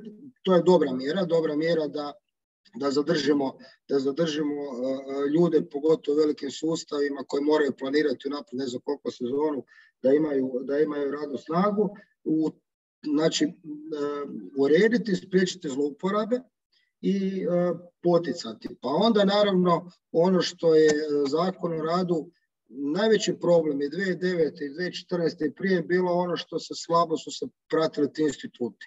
Ja sam čak i sklon, to sam rekao na zinu rade skupine, da se u zakon obvežemo da će tijelo, da će vlada oformiti e, tripartit za socijalno tijelo upravo e, praćenjem svih instituta ugovora o radu, pa tako i ugovora, ugovora na određeno, da vidimo što će ove predložene mjere, koje naravno će se korigirati, vidjet ćemo kako će to izgledati u konačnici, kako će se reflektirati na tržište rada u budućnosti. Ja, toliko od mene za sad. Ok, hvala. Evo Andrija, vrlo me zanima vaš komentar upravo zato što mi svi drugi dolazimo iz ovoga kruga ljudi koji jako često razgovaraju o zakonu o radu, pa mi je zanimljivo čuti razmišljanja nekoga koje ipak nekako to gleda malo sa strane zapravo kako vi gledate na ove vrlo česte i rasprave o zakonu o radu među sindikatima, poslodavcima, vladom u Hrvatskoj i zapravo vrlo česte promjene mi evo svaki 5-6 godina utvrdimo da nam je zakon o radu jako zastario i da ne odgovara stvarnosti, onda ga promijenimo i onda vlada kaže evo sad smo riješili za idućih 20 godina, pa onda za 5 godina opet se taj proces e, nastavlja. Da li možda imamo, imamo mi prevelika očekivanja od, zakona o radu, ovoga, kako bi se možda mogao to u smislu nekakvog idealnog policy procesa unaprijediti i da li postoje neke druge zapravo mjere na području javnih politika koje nam nekako bježe iz, iz fokusa. Dobro, mislim, to je sad jako široko pitanje. odnosno, mislim, puno pitanja je zapravo u tom pitanju. Pa ovako, mislim, ako pogledamo, mislim, zakon o radu je refleksija, odnosno ono što se dogodi sa zakonom o radu je zapravo refleksija nekog policy procesa koji meni tu, mislim, nije mi, mi do kraja jasan koji sve inputi idu u to i, i, i tko sudjeluje u tome i kako se stvari postavljaju, jer mislim kod nas Mislim, zapravo nije to problem da, da tog nema, nego je problem što ja ne znam dovoljno o tome da bi sad mogao, uh, tu nešto uh, jako određeno reći. Ali ono što mogu vidjeti je, je da smo mi iz faze u kojoj uh, je agenda poslodavaca bila pritisak na cijenu rada, došli u fazu u kojoj je agenda poslodavaca pritisak na, na fiskalno opterećenje cijene rada i da zapravo ova mjera, mislim za mlade između ostalog je mjera u kojoj se manje više direktno subvencionira poslodavce. I u tom smislu mislim naravno da, da, da zakon o radu e, reflektira potrebe različitih aktera, možda prije svega potrebe poslodavaca više nego potrebe sindikata i, i potrebu da se nekako očuva njihova konkurentnost. I u tom smislu ako ćemo ići stizati i ostati u okviru ovog modela, onda će se te prilagodbe morati stalno događati. Uvijek će tu biti, e, polisi mjere će biti fleksibilizacija da ili ne, manja ili veća i manje ili veće fiskalno opterećenje e, cijene rada. I to su manje više kontinuirane polisi alternative. Što se tiče promjene strukture ekonomije, mislim to ne može napraviti ministarstvo gospodarstva zakonom, niti, niti, niti mjerama, to radi industrijska politika, kod nas industrijske politike nema. Nema znakova da će je biti i ovo mogu reći, oprostite, ne postoji policy proces koji zapravo može iznjedriti industrijsku politiku u ovom obliku, a mislim da, da nema ni interesa kod različitih aktera, a mislim ni jasne vizije e, oko toga. Tako da se tu neke velike e, stvari e, neće dogoditi. Isto tako, nekakva promjena strukture tržišta rada, mislim čisto vrlo općenito govoreći iz onako vrlo E, ptičje perspektive se neće moći dogoditi bez e, nekakvih jačih e, razvojnih zahvata. Mi nekako, onako općenito gledajući, očekujemo da će se naši problemi nekako automatski riješiti ulaskom u Europsku uniju, ulaskom u eurozonu i nekim drugim stvarima, ali mislim to se neće dogoditi bez nekakvog, nekakve ciljane politike koja ide na na, na promjenu strukture ekonomije. Tako da mislim da će se ta klackalica nekako nastaviti i da će e, idući ciklusi promjena zakona o radu zapravo ovisiti, ja mislim ovo je možda banalno reći, ali o, o e, odnosu snaga aktera e, koji su u tom procesu i, i, u, i ovisno o tome e, u kakvoj će poziciji biti e, hrvatski poslodavci za pet ili deset ili 15 godina, odnosno na čemu će oni odlučiti graditi svoju konkurentnost po pojedinim sektorima. Mislim, ne znam, možda onako čisto da izađem potpuno iz, iz ove priče, možda je moguće da ćemo mi, s obzirom na demografske trendove, za desetak ili 15 godina zapravo imati podvojeno tržište rada u kojem ćemo dijeliti radnike na domaće ili radnike iz Europske unije i na strane radnike koji će tu dolaziti na ne znam kakve e, povremene ugovore i koji će onda preuzeti veći dio ovih e, nesigurnih poslova u sektoru usluga. Mislim, to je neka vrsta rješenja za, za e, ove domaće probleme, mislim, koja se naravno prevaljuje na leđa nekog drugog. Mislim, ali da, mislim da, da, ćemo, da, da u osnovi se nalazimo bez nekakvih velikih promjena u strukturi ekonomije u ovoj stalnoj dilemi između fleksibilizacije ili nefleksibilizacije i, i većeg ili manjeg fiskalnog pritiska na, na cijenu rada. Hvala. E, evo Ana, zanima me tvoje viđenje isto te ovoga e, dileme koliki je zapravo utjecaj zakonske regulative, a koliki nekih, nekih drugih faktora. Vidjeli smo i danas smo čuli da definitivno postoji utjecaj zakonske regulative. E, govorila si ti o promjenama zakona o odredbi o, o radu na određeno 2013. godine nakon koje je počeo ovaj, ovaj rast. Sigurno svjesni smo naravno da se zakonom ne može sve ovoga postići, ali Savez sigurno nije bio ovoga organizacija koja nije cijelo ovo vrijeme gledala širu sliku i upozoravala na probleme razvojnog modela. Pa u pravu si Darko, dakle SSSH i naši udruženi sindikati smo zapravo davnih godina prestali vršiti pritisak na kontinuiranu izmenu zakona, dakle konkretno u ovom slučaju zakona o radu, jer zapravo negativan učinak čestih izmjena propisa je jedan od faktora koji odbivaju, odbijaju investiranje u Hrvatsku. Dakle, ako vi imate nesigurnost zakonodavnu, onda naravno nemate ni interes ulagati u zemlju gdje ne znate pod kojim uvjetima uvjetima ćete zapravo poslovati ne znam za ne samo koju godinu nego koji mjesec. E, dakle, mi smo se više zato orijentirali na e, e, edukaciju, dakle mi u našem slučaju naših članova i počeo od povjerenika nadalje, a i očekivali smo unošenje edukacije recimo u sadržaje redovnog školovanja.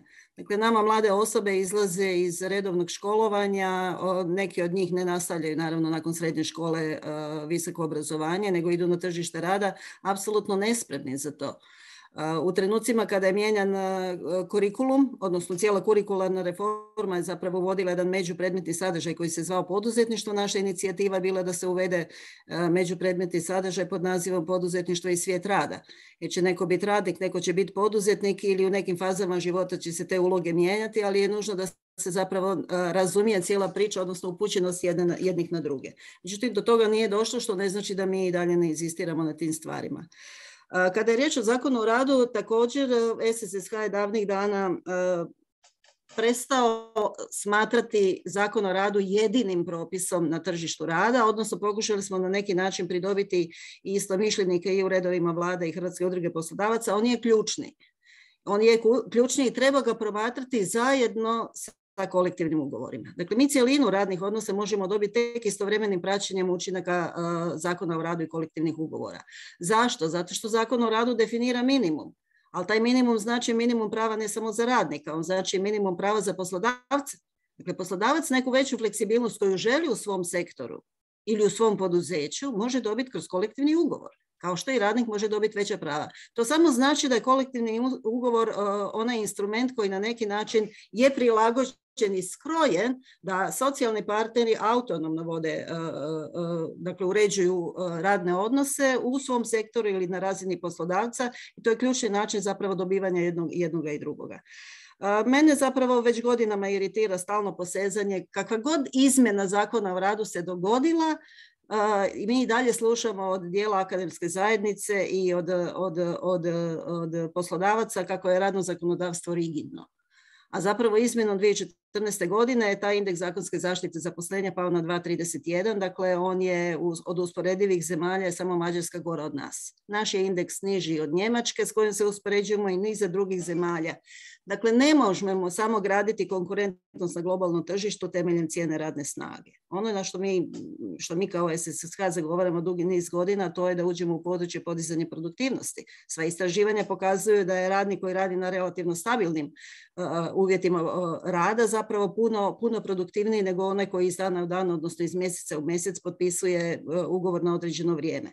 Dakle, da ne, ne širi sada to područje, u svakom slučaju imamo štofa i materijala za puno stvari da vidimo zajednički, dakle govorimo o tripartitnom, plus četvrta strana koja je ključna, dakle akademska zajednica, da neke stvari u smislu razvoja, ne samo ekonomskom, nego i socijalnom, dakle kuda ide ovo društvo, kako društvo gradimo, mislim da su te temeljna pitanja kojima, kojih se moramo dotaknuti.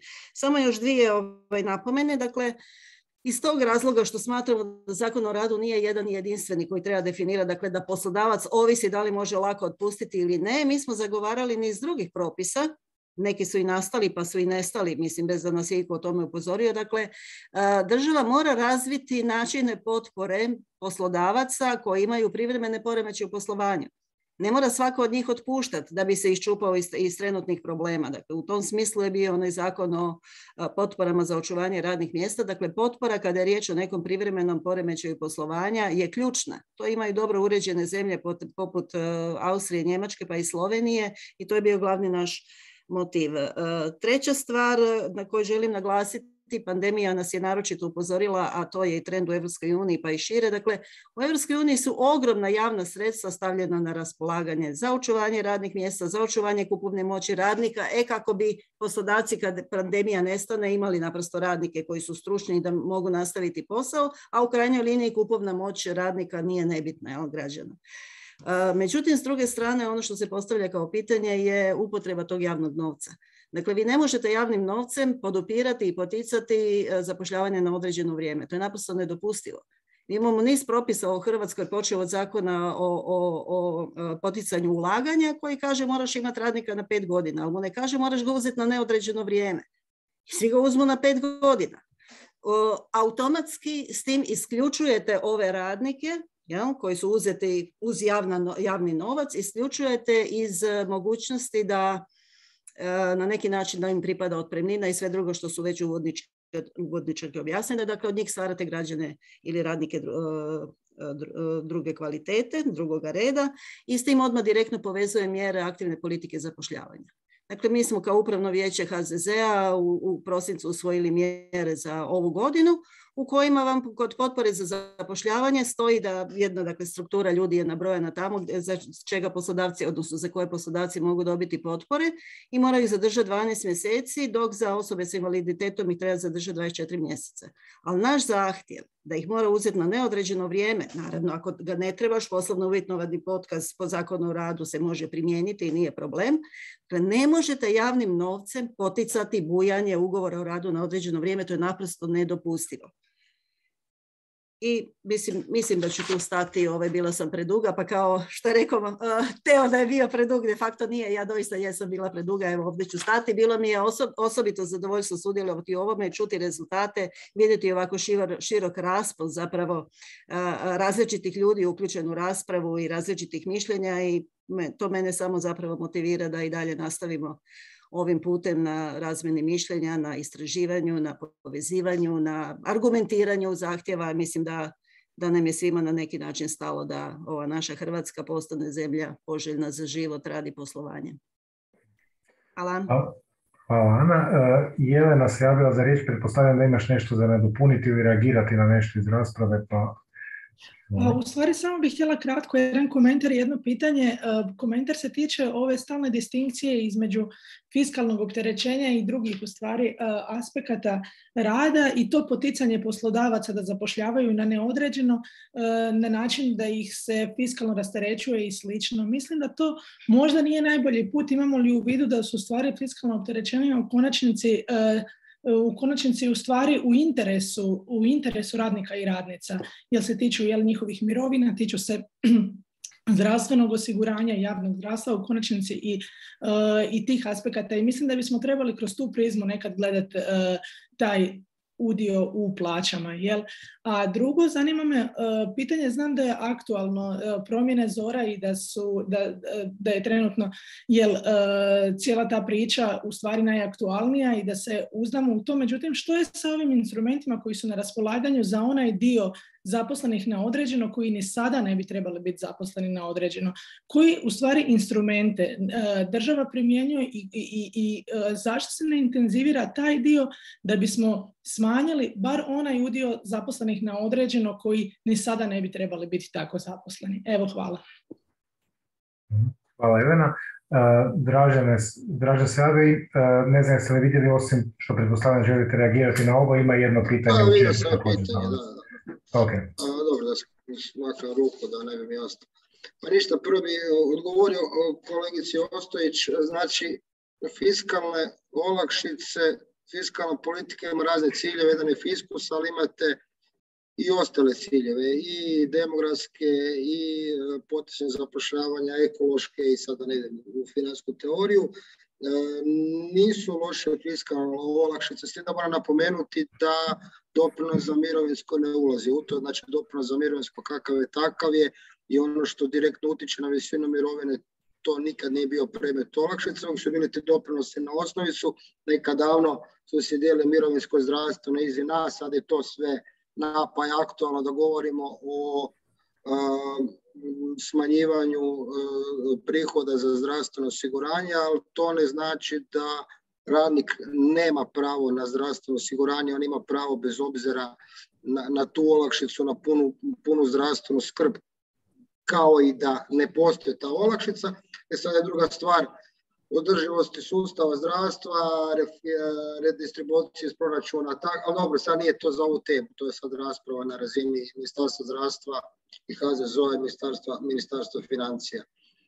Što se tiče ovog pitanja za ugovor na određeno se taksativno navede u kojim slučajevima ugovori na određeno se mogu slagati. Ja, što ako to znači E sad malo, s jedne strane, pogotovo sindikati ne vole preveliku, ni poslodavci preveliku normiranu zora, a sad bi se tu prlaže taksativno na, na, navođenje. Što ako propustimo nešto van toga? E, osobno nisam baš zato, ono što smo mi sad predložili, to da se jasno propiše da je prvi ugovor na, na radu na određeno treba postaviti opravdani razlog. E, vidjeli ste u prezentaciji kolegice Sunčice Prdarić e, vezano u sadašnje normativno uređenje ZORA da postoje određene prekršajne sankcije vezano uz to ako se zlouporabljuje institut e, rada na određeno i ako nema i, te, i ako se produži ta rok ili ako nema opravdane svrhe, e,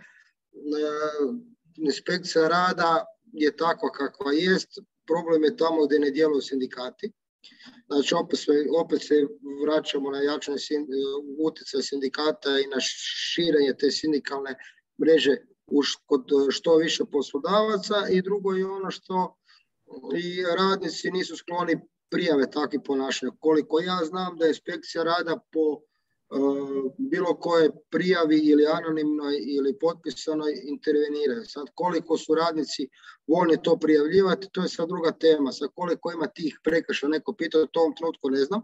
To je pitanje s državnim inspektorat, inspekciju rada, oni više, koliko baš dvije, tri godine nisu, ovaj, e, nisu kod nas, tako da e, ne znam taj podatak u ovom trenutku, ali opet kažem, E, moja osobna obveza i obveza ministarstva će biti upravo praćenje svih instituta instituta zakona o radu, pa tako ćemo sigurno pratiti i broj ugovora na, odre, na određeno vrijeme, s tim da opet napominjem da sva vlada obvezala u dva dokumenta, u nacionalnoj razvojnoj strategiji do 2030. odnosno u MPO do 2026. godine, upravo uh, smanjiti broj ugovora na određeno, na određeno vrijeme to je nama cilj. A vidjet ćemo sad da li je ovo dostatno. Mislim, dobro, teško otvarati zakon o radu, to je jako interesan zakon, ali nismo neskloni donošenju novog zakona ako vidimo da se tu nešto nije bitno promijenilo, opet ponovo otvori zon. Božemo, nije to sveto pismo da se ne može dijeliti. Hvala. Hvala. Uh, Ana, ti si htjela još nešto reagirati. Da, mijenjat ćemo zakon prema potrebama, svako toliko, ko što rekao.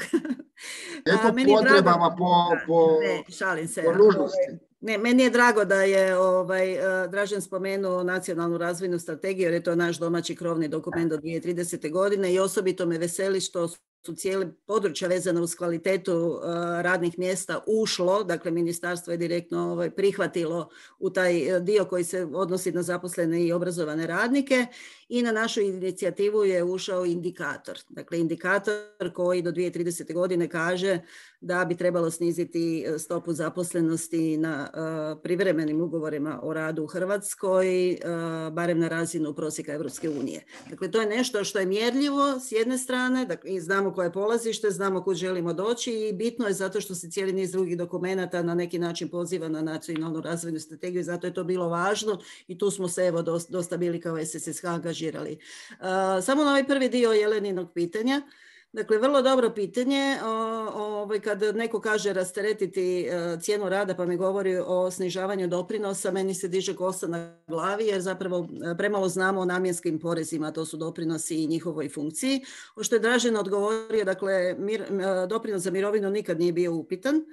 Uvijek je bilo riječi o doprinosima na plaću, a oni se odnose na zdravstveno. Međutim, ako država bilo kojim propisom zapravo prihvati neplaćanje doprinosa za zdravstvo u ne više u riznicu, nego na račun HZZO-a, ona bi po nama bila dužna taj iznos izuzetih uplatiti u HZZO. U protivnom, mi svi koji plaćamo doprinos, zapravo očekuje se da pokrijemo i troškove univerzalnog zdravstvene zaštite koju Hrvatskoj ima, koja je dobro da ju ima. Samo velim, država za svih onih milion po različitim propisima, po različitim kategorijama ljudi, izuzima iz obaveze plaćanja doprinosa, ali bi ona trebala i fizički uplatiti taj novac HZZU kako bi se na neki način pokrilo. Ono što je tragično, što smo mi imali kod povećanja e, e, minimalne plaće prije 3-4 godine, da su poslodavci bili stimulirani ako plaćaju radnika na minimalnu plaću, onda dvije godine su im prepolovili iznos za plaćanje zdravstvenog doprinosa. To je bilo zapravo potpuno kontra suprotno gdje su se i sami poslodavci reagirali koji su rekli eto trudim se plaćati radnika više od minimalne plaće, a vi sada zapravo potičete one koji drže radnika na minimalnoj plaći da još da im se prepolovi taj doprinos. Evo to, to, to su ta neka lutanja u javnim politikama, ali i provedbenim mjerama koje mi na neki način trebamo horizontalno saglizati i vidjeti kako ćemo postići ciljeve koje smo si postavili kao društvo. Ne samo ekonomiju, velim ekonomije i društvo doista bez nekakvih floskula mogu, moraju ići ruku pod ruku. Evo, Isprika što sam uzela još vremena, Teo, sorry. E, hvala Ana. E, evo Teo, ja bih tebe zamolio tvoj komentar ovoga pitanja što možemo zakonom o radu, što možemo drugim mjerama. Ti si se bavio barem e, vrlo, kako da kažem, sveobuhvatno tržištem rada u svojoj, u svojoj karijeri i naravno zanima me kao i neka, neka vrsta završne riječi s obzirom se približavamo polako kraju, ovoga, tvoj pogled kao voditelja istraživanja na to što bismo dalje mogli e, sa ovim, sa ovim materijalom, sa podacima koje smo, smo gdje bi ti bio sretan da nas dalje taj, e, ta studija i rasprave o Samo to, dakle, dobro. Pa, hvala zapravo sad mogao bi razlagati neke momente koje bi se, koje bi se, mogle, koje bi se mogle eventualno učiniti u pogledu naravno i sustava socijalne sigurnosti, znači ili u pitanju normativnog djelovanja, ali mislim da bi nas to dovelo dosta, dosta daleko. Sigurno recimo Janina napomena o javnim investi, uvjetovanjima javnih investicija, e, pitanje naravno također i također i doprinosa, odnosno šta, šta se s tim zvio. Eko smo to doista oduzeli gotovo sve što smo mogli. Doprinos za zapošljavanje više ne postoji, neke zemlje penaliziraju zapošljavanje na određeno tako da ti poslodavci plaćaju više doprinos, ali taj taj brod je isplovio u stvari, e, tako da sad nema više puno prostora zapravo za smanjivanje te cijene rada na te doprinose. Evo gledamo nekoga ispod 30 godina, vrlo izgledano da je plaća gotovo ništa niti u porezu, niti u prirezu, niti u doprinose zdravstveno, isključivo, isključivo preustao doprinos mirovinski koji se izravno prebacuju na vlastite koeficijente nadalje. Ali naravno, pitanje premošćavanja razdoblja između poslova, ova ambicija spuštanja na evropski prosjek je vrlo ambiciozna i treba će stvarno dosta, dosta se usmjeriti u tom smjeru da ono zapravo uopće i profunkcionira. E, koliko može i rezultati ovog istraživanja pomoći, ne znam, mislim svakako ono okuplja, zapravo što smo pokušali napraviti je okupiti, ono, otkrivati toplo neće ne krenuti iz ničega, nego kupiti sve ono što smo znali, skupiti te dokaze, ponovo reciklirati postojeće istraživanja, priložiti, ispuniti neke rupe odnosno na to što smo znali. Naravno, tu su ta velike istraživanja, ankete o radnoj snazi, ankete o dohodku kućanstva, znači ta evropska istraživanja za evropskim zakonodavstvom koje treba uzimati za ozbiljno u nekim tim stvarima od toko tokova su i dosta relevantnija. To je još uvijek i to blago administrativnih podataka koje bi se mogli detaljnije koristiti na mikrorazini i utvrditi nekakve učinke nekih politika kroz neki broj godina koliko se one zapravo odvijaju kao takav nekakav, ajmo reći, prirodni eksperiment koji se tu bio događao. Uh, sad, publika, ova rasprava je bila vrlo zanimljiva i u svakom slučaju ćemo uzeti u obzir pri finalizaciji publikacije, ona sad ulazi u fazu lekture, zavezivanja, zapravo ideja je bila zapravo imati ovu tu refleksiju koja se kroz ovu radionicu i unutar ha, pretpostavljam 3 do 4 tjedna da možemo, da neću ništa, ovaj, neću, neću obećanja, ali prije nego neke sa prolje. Ako nas globalno za, za, e, zagrijavanje ne zezne, vjerojatno neke kad proljetnice ovaj, budu ispupale. Uh, što se tiče javne, vratio bi se još na tu javnu, znači javnu podršku, znači raspoznavanje, raspoznavanje mogućnosti nekih intervencija i e, mogućnosti potencijala nekih intervencija kako su raspoznali naših tisuću, odnosno 700 tinjak sudionika, gdje nije postojalo jako velike razlike. Znači ja sam imao dva su temeljna tipova intervencije bila. Jedna su tipovi koji se tiču provjera kontrola postojećih instrumenata, drugi tip je bio redukcija, redukcija mogućnosti za rad na određeno i u oba dva slučajeva postoji prilično široka potpora i među više obrazovanim i manje obrazovanim i onima koji rade na određeno i onima koji nikad nisu radili na određeno.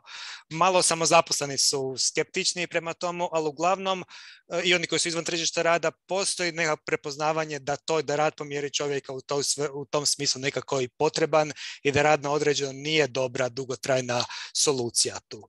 E, mene osobno ovdje integrira, e, intrigira nešto više, dakle ta tema uopće mm, e, primjene načela nediskriminacije. Vidimo znači da različite zaposleni na određeno dosta su u nezahvalnom poziciju dok jesu u odnosu na one koji rade na neodređeno.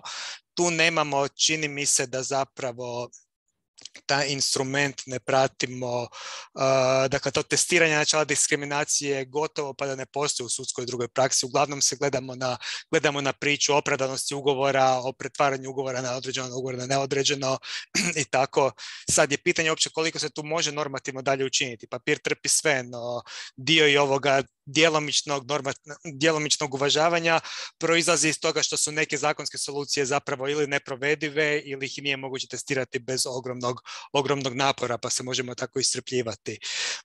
ono što evo mene i pretpostavljam i kolege iz projektnog tima tu intrigira, dakle mi koji smo radili na istraživanju gledat ćemo prijedloge zakona i izmjena i upravo iz kuta implikacije pojedinih rješenja u sferama u kojima utvrđen deficit u ostvarivanju rada po mjeri čovjeka na zaposlene na određeno.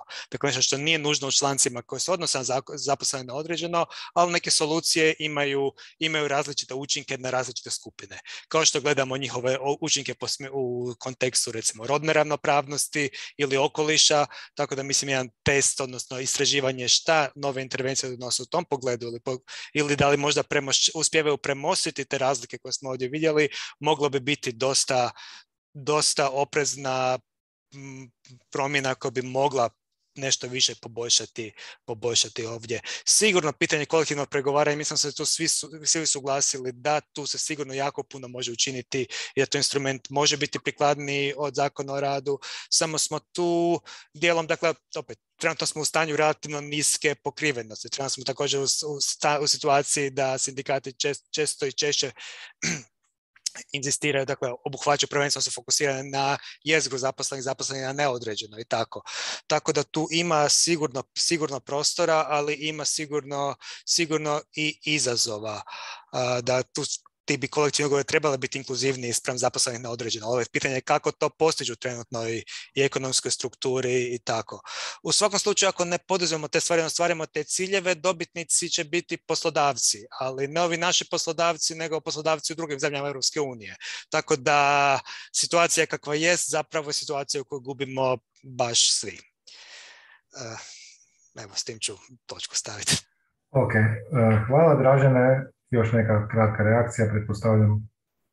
Pa da, samo kratko, ne znam, sad je to još par puta spomenuto, a imali smo takav prijedlog zakona još prije ne znam koliko, četiri godine, a to je da se povećaju doprinose, zapošljavanje bilo kakve doprinose ljudima koji, e, koji, kojima ugovore na određeno i da se poveća e, financijsko opterećenje poslodavaca.